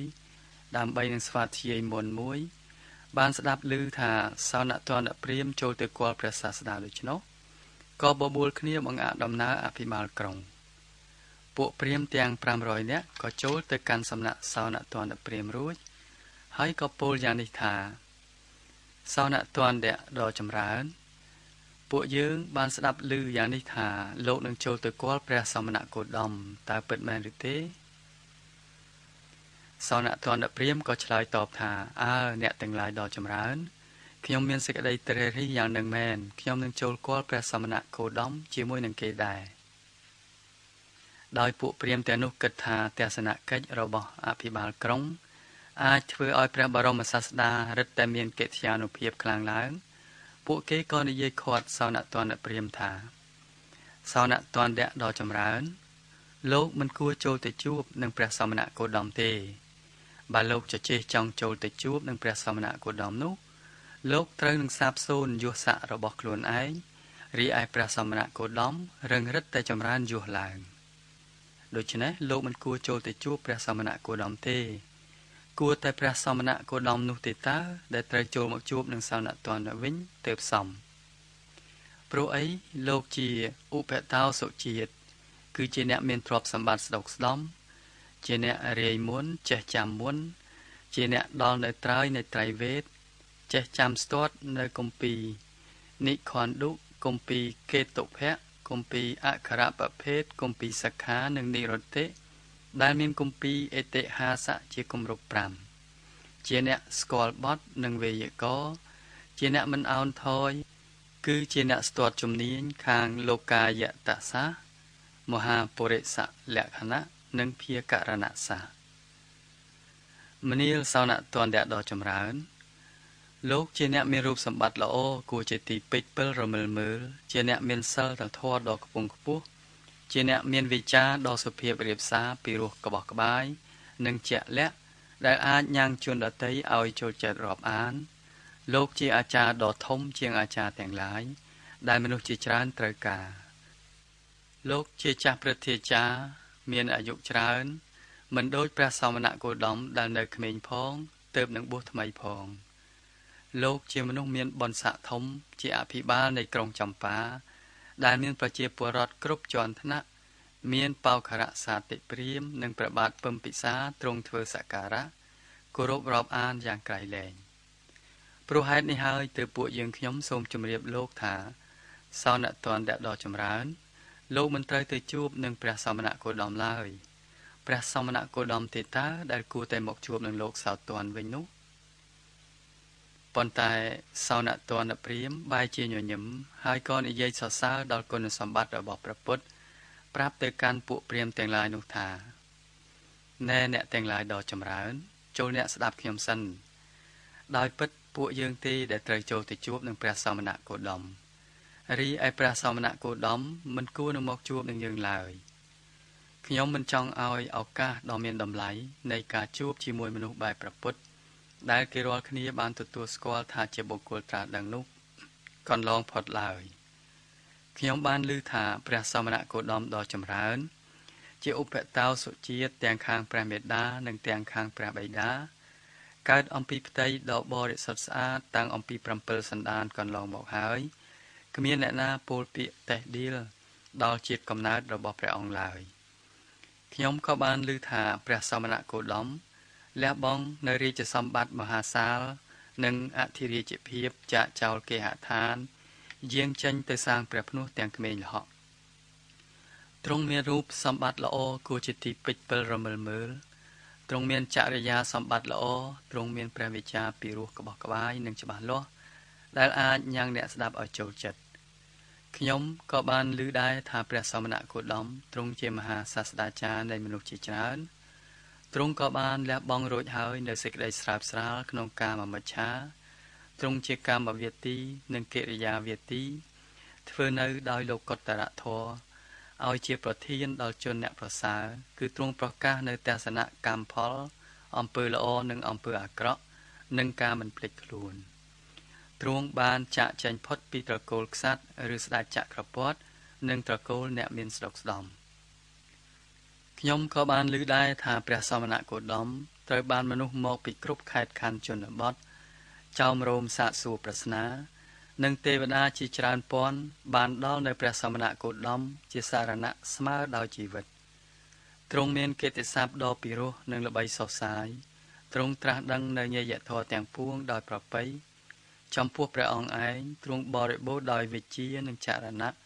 គឺសេចក្តីចេះដឹងនិងក្រិតដែលបុគ្គលគប្បីប្រព្រឹត្ត ទ្រង់មានព្រះដំណើរល្អទៅកាន់ព្រះនិព្វានទ្រង់ជ្រាបច្បាស់នៅត្រៃលោកទ្រង់ប្រសើរដោយសីលាតិគុណរកបុគ្គលឯណាមួយប្រសើរគ្មាន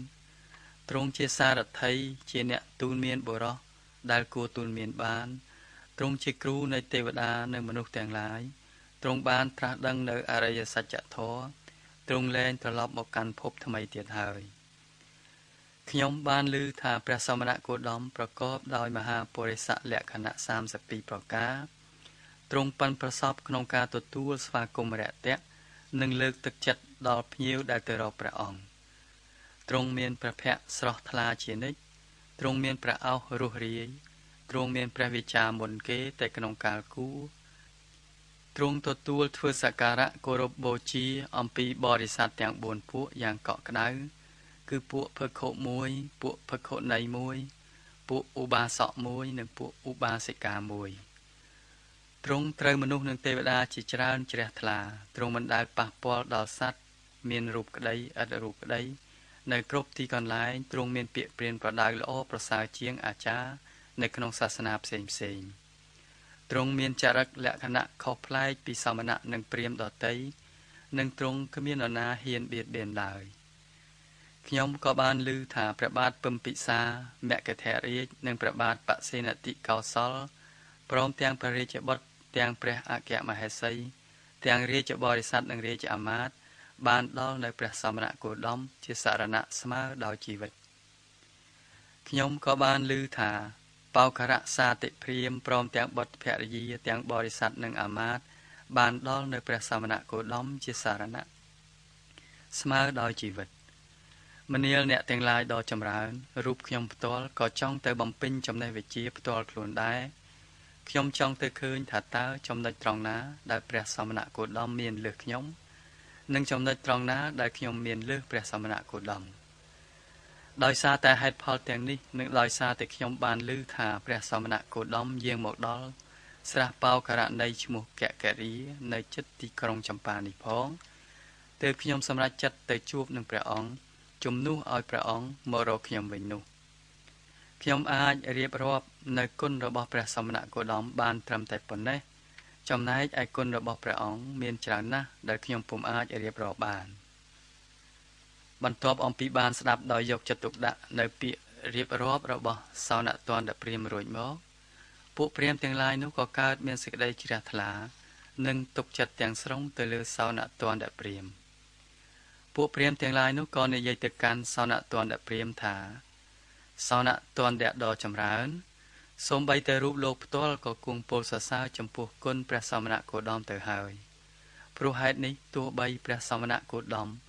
ទ្រង់គង់នៅក្នុងទីឆ្ងាយដល់ទៅ100យោជន៍អំពីទីនេះក្តីកលបុត្រដែលមានសទ្ធាជ្រះថ្លា គួរតែរៀបស្បៀងយកទៅជាមួយ ដើម្បីនឹងចូលទៅគាល់ព្រះអង្គឲ្យទាល់តែបាន ប៉ុន្តែពួកព្រាមទាំងនោះនៅតែគិតក្នុងចិត្តថាសោណតនៈនឹងបញ្ចេញទ្រឹស្ដីវេទរបស់ពួកគេលើសអំពីទ្រឹស្ដីរបស់ព្រះពុទ្ធនិងមិនអោយវណ្ណៈព្រាមអាម៉ាស់មកឡើយបន្ទាប់មកសោណតនៈនិងព្រាមទាំង500រូបរួមជាមួយនឹងព្រាមទាំងអស់ដែលឈប់ចាំទាំងនោះផងនាំគ្នាធ្វើដំណើរចូលទៅកាន់ត្រង់ទីកន្លែងដែលព្រះពុទ្ធគង់នៅឯស្រះបោករណីឈ្មោះកករី ហើយម្នាក់ម្នាក់មានស្ពាយថងមហូបអាហារពីខាងក្រោយខ្នងផង នៅពេលធ្វើដំណើរទៅដល់ពាក់កណ្ដាលផ្លូវសោណទណ្ឌព្រាមក៏កើតមានសេចក្តីត្រេះរិះក្នុងចិត្តយ៉ាងនេះថាតើអាត្មាអញត្រូវរៀបពាក្យដោះសារចោតសួរឬឆ្លើយនៅប្រស្នាជាមួយនឹងព្រះពុទ្ធយ៉ាងណា ពាក្យណាដែលអាត្មាអញគួរនិយាយនិងពាក្យណាដែលអាត្មាអញមិនគួរនិយាយ ប្រសិនបើព្រះសមណគោតមឆ្លើយនឹងប្រស្នាអាត្មាអញមនាលព្រាម អ្នកមិនត្រូវសួរប្រស្នាយ៉ាងនេះទេ អ្នកគួរតែសួរយ៉ាងនេះវិញម្លេះសំពួកបរិស័ទទាំងឡាយមើលងាយដល់អាត្មាអញថាជាមនុស្សល្ងងខ្លៅមិនឆ្លៀសវៃមិនអាចសួរប្រស្នាព្រះពុទ្ធដោយយោបល់បាន បើបរិស័ទទាំងឡាយនេះគេមើលងាយបុគ្គលណាហើយយុះរបស់បុគ្គលនោះនឹងត្រូវសាបសូន្យ បើយុះបុគ្គលណាសាបសូន្យហើយភោគៈទាំងឡាយនៃបុគ្គលនោះក៏ត្រូវសាបសូន្យដែរតែបិទអីភោគៈរបស់អាត្មាអញនេះសុទ្ធតែបានមកដោយយុះម្យ៉ាងវិញទៀតបើអាត្មាអញបានទៅចិត្តដល់ទីយ៉ាងនេះហើយហើយមិនទាំងបានឃើញព្រះសមណគោតមនៅឡើយស្រាប់តែអាត្មាអញក្រឡាស់ថាត្រឡប់ថយក្រោយវិញនោះពួកបរិស័ទមុខជានឹងមើលងាយអាត្មាអញថាជាមនុស្សល្ងងខ្លៅមិនឆ្លៀសវៃមានចិត្តមានះ រឹងត្អឹងខ្លាចកំសាមិនហ៊ានចូលទៅជួបនឹងព្រះសមណគោតមបើបរិស័ទទាំងនោះមើលងាយបុគ្គលណាហើយយុះរបស់បុគ្គលនោះនឹងត្រូវសាបសូន្យហើយបើយុះបុគ្គលណាសាបសូន្យហើយភោគៈទាំងឡាយនៃបុគ្គលនោះក៏ត្រូវសាបសូន្យដែរត្បិតអីភោគៈរបស់អាត្មាអញនេះសុទ្ធតែបានមកដោយសារយុះ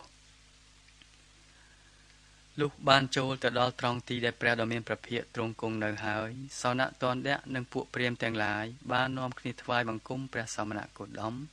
និងពោលពាក្យស្និទ្ធស្នាលរយៈរួចហើយក៏អង្គុយនៅក្នុងទីដ៏សមគួរមុននឹងចាប់ផ្ដើមនិយាយទៅកាន់ព្រះពុទ្ធសនៈតនៈព្រាមមានអារម្មណ៍ច្របូកច្របល់មិនដឹងថាតើត្រូវចាប់និយាយត្រង់ណាមុនគាត់មានអារម្មណ៍ភ័យខ្លាចឆ្លើយនឹងប្រស្នារបស់ព្រះពុទ្ធមិនរួច ដោយដែលគាត់បានគិតតាំងពីពាក់កណ្ដាលផ្លូវនោះមកផងគាត់មានអារម្មណ៍សប្បាយប្រសិនបើព្រះពុទ្ធត្រាស់សួរចំត្រង់កន្លែងណា ដែលគាត់រៀនចេះក្នុងគម្ពីរត្រៃវេទនោះព្រះពុទ្ធទ្រង់ជ្រាបនៅចិត្តរបស់សោណតនដព្រាមថាចង់និយាយអំពីវ័យទើបព្រះអង្គជួយចាប់ផ្ដើមឡើងមុនថាមនាលព្រាម អ្នកចង់ប្រាប់យើងថាតើពួកព្រាមបញ្ញត្តិមនុស្សប្រកបដោយអង្គប៉ុន្មាន ទើបថាជាព្រាមពេញលក្ខណៈមែនឬទេបើអ្នកណាពោលថាអាត្មាអញឬក៏ខ្លួនខ្ញុំជាព្រាមដូច្នេះអ្នកនោះពិតជានិយាយដោយប្រពៃផង មិនត្រូវមុសាវាទផងសោណតនព្រាមក៏មានសេចក្តីពេញចិត្តយ៉ាងខ្លាំងកាលបានលើព្រះពុទ្ធត្រាស់សួរត្រង់ចំចំណុចដែលខ្លួនបានសិក្សាក្នុងគម្ពីរត្រៃវេទនិងដោយចង់ឲ្យព្រះពុទ្ធត្រេកអរនៅវេយ្យាករណ៍របស់ខ្លួនផងនោះ ទើបសោណតនព្រាមធ្វើជាបង្ហើបខ្លួនអើតមើលទៅកាន់ពួកបរិស័ទដែលអង្គុយត្រៀបត្រានៅទីនោះមុននឹងបង្គំទូលព្រះពុទ្ធជាពាក្យយ៉ាងនេះថាបបិទ្ធព្រះគោដមដ៏ចម្រើន ពួកព្រាមរមែងបញ្ញត្តិមនុស្សថាជាព្រាមពិតប្រកបត្រូវតែប្រកបដោយអង្គដោយលក្ខណៈ5យ៉ាង បើកាលណាគេហ៊ានពោលខ្លួនគេថាជាព្រាមដូច្នោះហើយ គេឈ្មោះថាជាអ្នកនិយាយដោយប្រពៃផង ជាអ្នកមិនត្រូវមុសាវាទផងបបិទ្ធព្រះគោដមដ៏ចម្រើនព្រាមប្រកបនៅអង្គទាំង5យ៉ាងនោះគឺ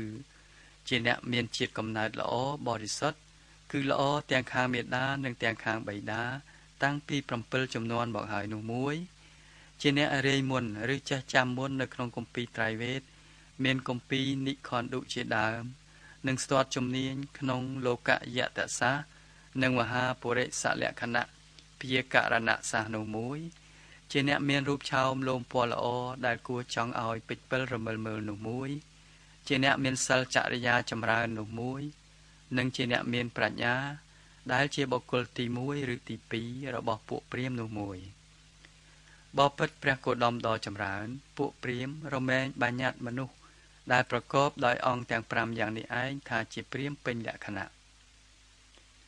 មនុស្សដែលប្រកបដោយលក្ខណៈទាំង5យ៉ាងនេះកាលបើពោលថាខ្លួនខ្ញុំជាព្រាហ្មណ៍ដូច្នេះហើយឈ្មោះថាជាអ្នកនិយាយដោយប្រពៃផង ជាអ្នកមិនត្រូវមុសាវាទផងព្រះពុទ្ធទ្រង់ត្រាស់សួរថាមនាលព្រាម ក្នុងបណ្ដាលក្ខណៈទាំង5យ៉ាងនេះតើអ្នកអាចលើកអង្គណាមួយចេញហើយបញ្ញត្តិមនុស្សដែលមានត្រឹមតែអង្គ4ថាជាព្រាមវិញបានដែរឬទេ សោណតនដព្រាមក៏បង្គំទូលថាបបិទ្ធព្រះគោដមដ៏ចម្រើន អាចបញ្ញត្តិបានត្បិតពណ៌សម្បុរនិងយកមកធ្វើជាការពុំបានទេ មនុស្សដែលប្រកបដោយអង្គ4ក៏អាចសន្មត់ថាជាព្រាមដែលជាអ្នកនិយាយដោយប្រពៃផង មិនត្រូវមុសាវាទផងព្រះពុទ្ធទ្រង់ត្រាស់សួរបន្តថាមនាលព្រាម ក្នុងបណ្ដាអង្គទាំង4នេះតើអ្នកអាចលើកអង្គណាមួយចេញ ហើយបញ្ញត្តិមនុស្សដែលមានត្រឹមតែអង្គ3ថាជាព្រាមវិញនោះតើបានដែរឬទេបបិទ្ធព្រះគោដមដ៏ចម្រើន អាចបញ្ញត្តិបានត្បិតការរាយមុនឬការចេះចាំមុននឹងយកជាការពំបានទេ មនុស្សដែលប្រកបដោយអង្គ3ក៏អាចសន្មត់ថាជាព្រាមដែលជាអ្នកនិយាយដោយប្រពៃផង មិនត្រូវមុសាវាទផងព្រះពុទ្ធទ្រង់ត្រាស់សួរបន្តថាមនាលព្រាម ក្នុងបណ្ដាអង្គទាំង3នេះ តើអ្នកអាចលើកអង្គណាមួយចេញ ហើយបញ្ញត្តិមនុស្សដែលមានត្រឹមតែអង្គ2ថាជាព្រាមវិញបានដែរឬទេបបិទ្ធព្រះគោដមដ៏ចម្រើន អាចបញ្ញត្តិបានត្បិតជាតិកំណើតនិងយកជាការអ្វីពំបានទេ មនុស្សដែលប្រកបដោយអង្គពីរក៏អាចសន្មត់ថាជាព្រាម ដែលជាអ្នកនិយាយដោយប្របីផង មិនត្រូវមុសាវាទផង ពេលសោណទណ្ឌព្រាមនិយាយដល់ត្រង់នេះ ពួកព្រាមទាំង500រូបក៏នាំគ្នាផ្អើលកិលឡើង ម្នាក់ម្នាក់ក្រោកឈរនិងលើកដៃក្រវីច្រងៀងច្រងាងស្រែកប្រាប់សោណទណ្ឌព្រាមថាណែសោណទណ្ឌដ៏ចម្រើន អ្នកកុំនិយាយយ៉ាងនេះ អ្នកកុំបងអាប់សម្បុរកុំបងអាប់មុននិងកុំបងអាប់ជាតិកំណើតបណ្ដោយឲ្យទៅទីតាមវាទរបស់ព្រះសមណគោដមអញ្ចឹងមិនកើតទេ ក្នុងគ្រានោះព្រះពុទ្ធទ្រង់ត្រាស់ទៅកាន់ពួកព្រាមទាំងឡាយនោះថា មនាលព្រាមទាំងឡាយបើអ្នកយល់ឃើញថាសនៈទណ្ឌព្រាមនេះជាមនុស្សចេះដឹងតិចតួចពលពាក្យមិនពីរោះជាអ្នកឥតមានប្រាជ្ញាមិនល្មមនឹងនិយាយឆ្លើយឆ្លងពាក្យនេះជាមួយនឹងតថាគតបានទេសូមឲ្យលោកឈប់ត្រឹមនឹងចុះហើយអ្នកទាំងឡាយចូលនិយាយឆ្លើយឆ្លងជាមួយនឹងតថាគតវិញម្ដងប៉ុន្តែបើសិនអ្នកទាំងឡាយយល់ឃើញថាសមណៈទណ្ឌព្រាមនេះជាមនុស្សចេះដឹងផងពលពាក្យពីរោះផងជាអ្នកប្រាជ្ញផង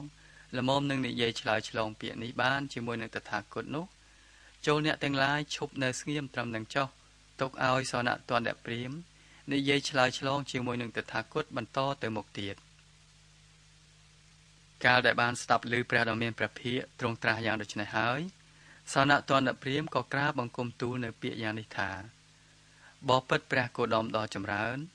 សូមព្រះអង្គមេត្តាបងអន់បន្តិចសិន សូមព្រះអង្គគង់ស្ងៀមសិនចុះខ្ញុំព្រះអង្គនឹងឆ្លើយតបជាមួយនឹងពួកព្រាមទាំងអម្បាលនេះវិញ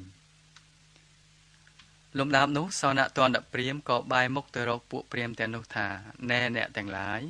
អ្នកកំបីពោលពាក្យយ៉ាងដូចនេះឡើយខ្ញុំពិតជាមិនមែននិយាយបង្អាប់សម្បល់បង្អាប់មុននិងបង្អាប់ជាតិកំណើតបណ្ដោយឲ្យទៅតាមវាទរបស់ព្រះសមណគោតមដូច្នេះឡើយពួកព្រាមទាំងឡាយនោះក៏នាំគ្នាអង្គុយចុះទៅវិញដោយស្ងៀមស្ងាត់ សោណតនព្រាមសំឡឹងមើលព្រះភ័ក្រព្រះពុទ្ធរួចក៏បែរមុខទៅនិយាយជាមួយនឹងពួកព្រាមទាំងនោះម្ដងទៀតថាណែអ្នកទាំងឡាយអ្នកមានឃើញមាននប់ម្នាក់ឈ្មោះអង្គៈដែលត្រូវជាក្មួយរបស់ខ្ញុំចូលមកក្នុងទីនេះដែរឬទេពួកព្រាមទាំងអស់នោះឆ្លើយថាបបិទ្ធលោកម្ចាស់ដ៏ចម្រើន ពួកយើងបានឃើញដែរមាននប់អង្គៈនេះមានរូបស្អាតណាស់មានសរីរៈស្រដៀងនឹងព្រំគួរឲ្យពេចពិលរមិលមើល មិនចង់ដាក់ភ្នែកគ្មានអ្នកណាម្នាក់ល្អដូចលើកលែងតែព្រះសមណគោតមចេញសោណទណ្ឌព្រាមឆ្លើយថាអើមែនហើយ អង្គៈមានុបជាអ្នករាយមុនចេះចាំមុន ជាអ្នកដល់នៅត្រើយនៃត្រៃវេទទាំង5គម្ពីរជាអ្នកស្ទាត់ជំនាញក្នុងលោកកាយតសានិងមហាបរិសលក្ខណៈព្យាករណសាដែលមានរូបខ្ញុំនេះហើយជាអ្នកបង្រៀនដល់វា មនាលអ្នកទាំងឡាយដ៏ចម្រើន អង្គៈមានុបជាអ្នកមានជាតិកំណើតដ៏ល្អទាំងពីរចំណែកគឺចំណែកខាងមេដានិងខាងបៃតាតាំងអំពីដំណរកន្លងមកហើយប៉ុន្តែអង្គៈមានុបជាអ្នកបានសម្លាប់សត្វខ្លះយកទ្រព្យដែលម្ចាស់គេមិនបានអនុញ្ញាតខ្លះប្រព្រឹត្តខុសក្នុងកិរិយាដតីខ្លះនិយាយកុហកខ្លះផឹកទឹកស្រវឹងខ្លះមនាលអ្នកទាំងឡាយបើយើងនឹងលើកយកសេចក្តីនេះមកនិយាយ ឃើញថាវណ្ណៈនឹងយកជាការមិនបានទេ មុនយកជាការមិនបានទេ ជាតិកំណើតយកជាការមិនបានទេដូច្នេះព្រាមដែលពេញលក្ខណៈប្រកបដោយអង្គតែពីរប៉ុណ្ណោះគឺជាអ្នកមានសិលដ៏ចម្រើនមួយ និងជាអ្នកមានប្រាជ្ញាមួយដោយទ្រង់បានតតឃើញសនៈតនព្រាមឈប់និយាយព្រះសមណគោដមបរមគ្រូទ្រង់ត្រាស់សួរបន្តទៅទៀតថាមនាលព្រាមបណ្ដាអង្គទាំងពីរនេះ អ្នកអាចលើកអង្គណាមួយចេញ ហើយបញ្ញត្តិមនុស្សដែលប្រកបត្រឹមតែអង្គមួយ ថាជាព្រាមពិតប្រកបបានដែរឬទេសោណតនព្រាមក៏បង្គំទូលថាបបិទ្ធព្រះសមណគោដមដ៏ចម្រើន អង្គទាំងពីរនេះនឹងលើកអង្គណាមួយចេញមិនបានទេត្បិតប្រាជ្ញារមែងជំរះសិលឲ្យបរិសុទ្ធរីឯសិលសោតក៏រមែងជំរះប្រាជ្ញាឲ្យបរិសុទ្ធដែរសិលនៅត្រង់ណាប្រាជ្ញាក៏នៅត្រង់នោះដែរ និងប្រាជ្ញានៅត្រង់ណាសិលក៏នៅត្រង់នោះដែរអ្នកមានសិលក៏មានប្រាជ្ញា អ្នកមានប្រាជ្ញាក៏មានសិលដែរសេចក្តីនេះមានន័យឧបមាដូចជាបុគ្គលលាងដៃដោយដៃលាងជើងដោយជើងសិលនិងប្រាជ្ញានេះ អ្នកប្រាជ្ញតែងតែពោលថាជាគុណធម៌ដ៏ប្រសើរបំផុតក្នុងលោកព្រះដ៏មានព្រះភិក្ខទ្រង់ត្រាស់តបថាមនាលព្រាមសេចក្តីរបស់អ្នកត្រឹមត្រូវហើយ អ្នកនិយាយពាក្យនេះពិតហើយត្បិតប្រាជ្ញារមែងជំរះសិលឲ្យបរិសុទ្ធរីឯសិលសោតរមែងជំរះប្រាជ្ញាឲ្យបរិសុទ្ធដែរសិលនិងប្រាជ្ញា អ្នកប្រាជ្ញតែងតែពោលថា ជាគុណធម៌ដ៏ប្រសើរក្នុងលោកមនាលព្រាមចោះសិលនោះតើដូចម្ដេចតើប្រាជ្ញានោះដូចម្ដេចអ្នកអាចប្រាប់តថាគតឲ្យលើសពីនឹងបានដែរឬទេ តើពួកព្រាមពង្រីកសិលនិងប្រាជ្ញារបស់ខ្លួនទៅកាន់កម្រិតខ្ពស់បំផុតយ៉ាងដូចម្ដេចដែរសោណតនព្រាមបង្គំទូលថាបបិទ្ធព្រះសមណៈគោដមដ៏ចម្រើនខ្ញុំព្រះអង្គគ្រាន់តែបានដឹងថាសិលនិងប្រាជ្ញាប៉ុណ្ណោះឯត្រង់សេចក្តីអធិប្បាយនោះខ្ញុំព្រះអង្គមិនដឹងថាដូចម្ដេចទេសូមព្រះសមណៈគោដមដ៏ចម្រើនទ្រង់ត្រាស់បំភ្លឺនៅសេចក្តីអធិប្បាយនៃភាសិតនោះ ឲ្យទៀនតាមកាលដ៏គួរផងចុះព្រះដ៏មានព្រះភិក្ខទ្រង់ត្រាស់ថាមនាលព្រាមបើដូច្នេះចូលអ្នកយកចិត្តទុកដាក់ស្ដាប់ដោយប្រពៃចុះតថាគតនឹងសម្ដែងប្រាប់ព្រះពុទ្ធក៏ទ្រង់ចាប់ផ្ដើមពន្យល់ប្រាប់ពួកព្រាមទាំងឡាយនោះអំពីមេគានៃពន្លឺត្រាស់ដឹងព្រះអង្គទ្រង់ពន្យល់អំពីសិលសមាធិនិងបញ្ញាសមាទានសិលពង្រីកសមាធិសមាធិនាំឲ្យកើតបញ្ញា បញ្ញាអាចធ្វើឲ្យមនុស្សសមាទានសិលបានវែងឆ្ងាយទៀតសមាទានសិលវែងឆ្ងាយប៉ុណ្ណាសមាធិនៃជននោះចម្រើនច្រើនប៉ុណ្ណឹងដែរសមាធិនៃជននោះចម្រើនប៉ុណ្ណា បញ្ញានៃជននោះយល់ជ្រៅប៉ុណ្ណឹងព្រះពុទ្ធទ្រង់ពន្យល់អំពីការចម្រើនភាវនាលើបដិច្ចសមុបាទធម៌ដើម្បីនឹងកាច់បំបាក់លើទស្សនៈខុសនៃអត្តៈសមាធិលើបដិច្ចសមុបាទ អាចនាំឲ្យមនុស្សផ្ដាច់ចំណងលោភៈទោសៈមោហៈដើម្បីសម្រេចការត្រាស់ដឹងទទួលនៅសេចក្តីស្ងប់និងរីករាយសោណតនព្រាមនិងព្រាមទាំងឡាយនោះផ្ទៀងស្ដាប់ព្រះពុទ្ធសម្ដែងធម៌យ៉ាងស្លងចិត្តសោណតនព្រាមក៏ក្រាបបង្គំទូលព្រះដ៏មានព្រះភិក្ខថាបបិទ្ធព្រះអង្គដ៏ចម្រើនខ្ញុំព្រះអង្គសូមដល់នៅព្រះសមណគោតមផង ព្រះធម៌ផងព្រះសង្ឃផងជាសារណៈ សូមព្រះគោដមដ៏ចម្រើនជ្រាបថាខ្ញុំព្រះអង្គជាឧបាសក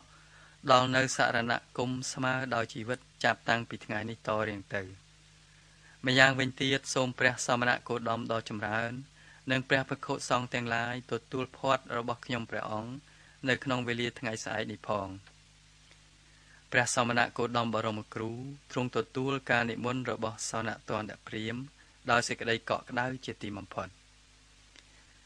ការបដូរយោបល់រវាងព្រះពុទ្ធនិងសនតនព្រាមបានលេចលឺសុសសាយដល់ប្រជាពលរដ្ឋគ្រប់ជាន់ថ្នាក់នៅក្នុងតំបន់នោះមានពួកបញ្ញវន្តព្រាមមួយចំនួនធំ បានសូមប្រគល់កាយថ្វាយខ្លួនធ្វើជាសាវករបស់ព្រះពុទ្ធ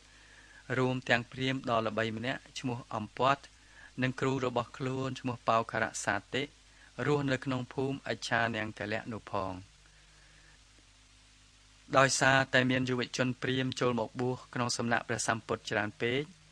ក៏ជាហេតុមួយដែលនាំឲ្យមានការពិបាកដោះស្រាយនៅបញ្ហាចរណែននិងការមិនសប្បាយចិត្តអំពីសំណាក់អ្នកដឹកនាំព្រាមនិងនិកាយសាសនាដទៃទៀត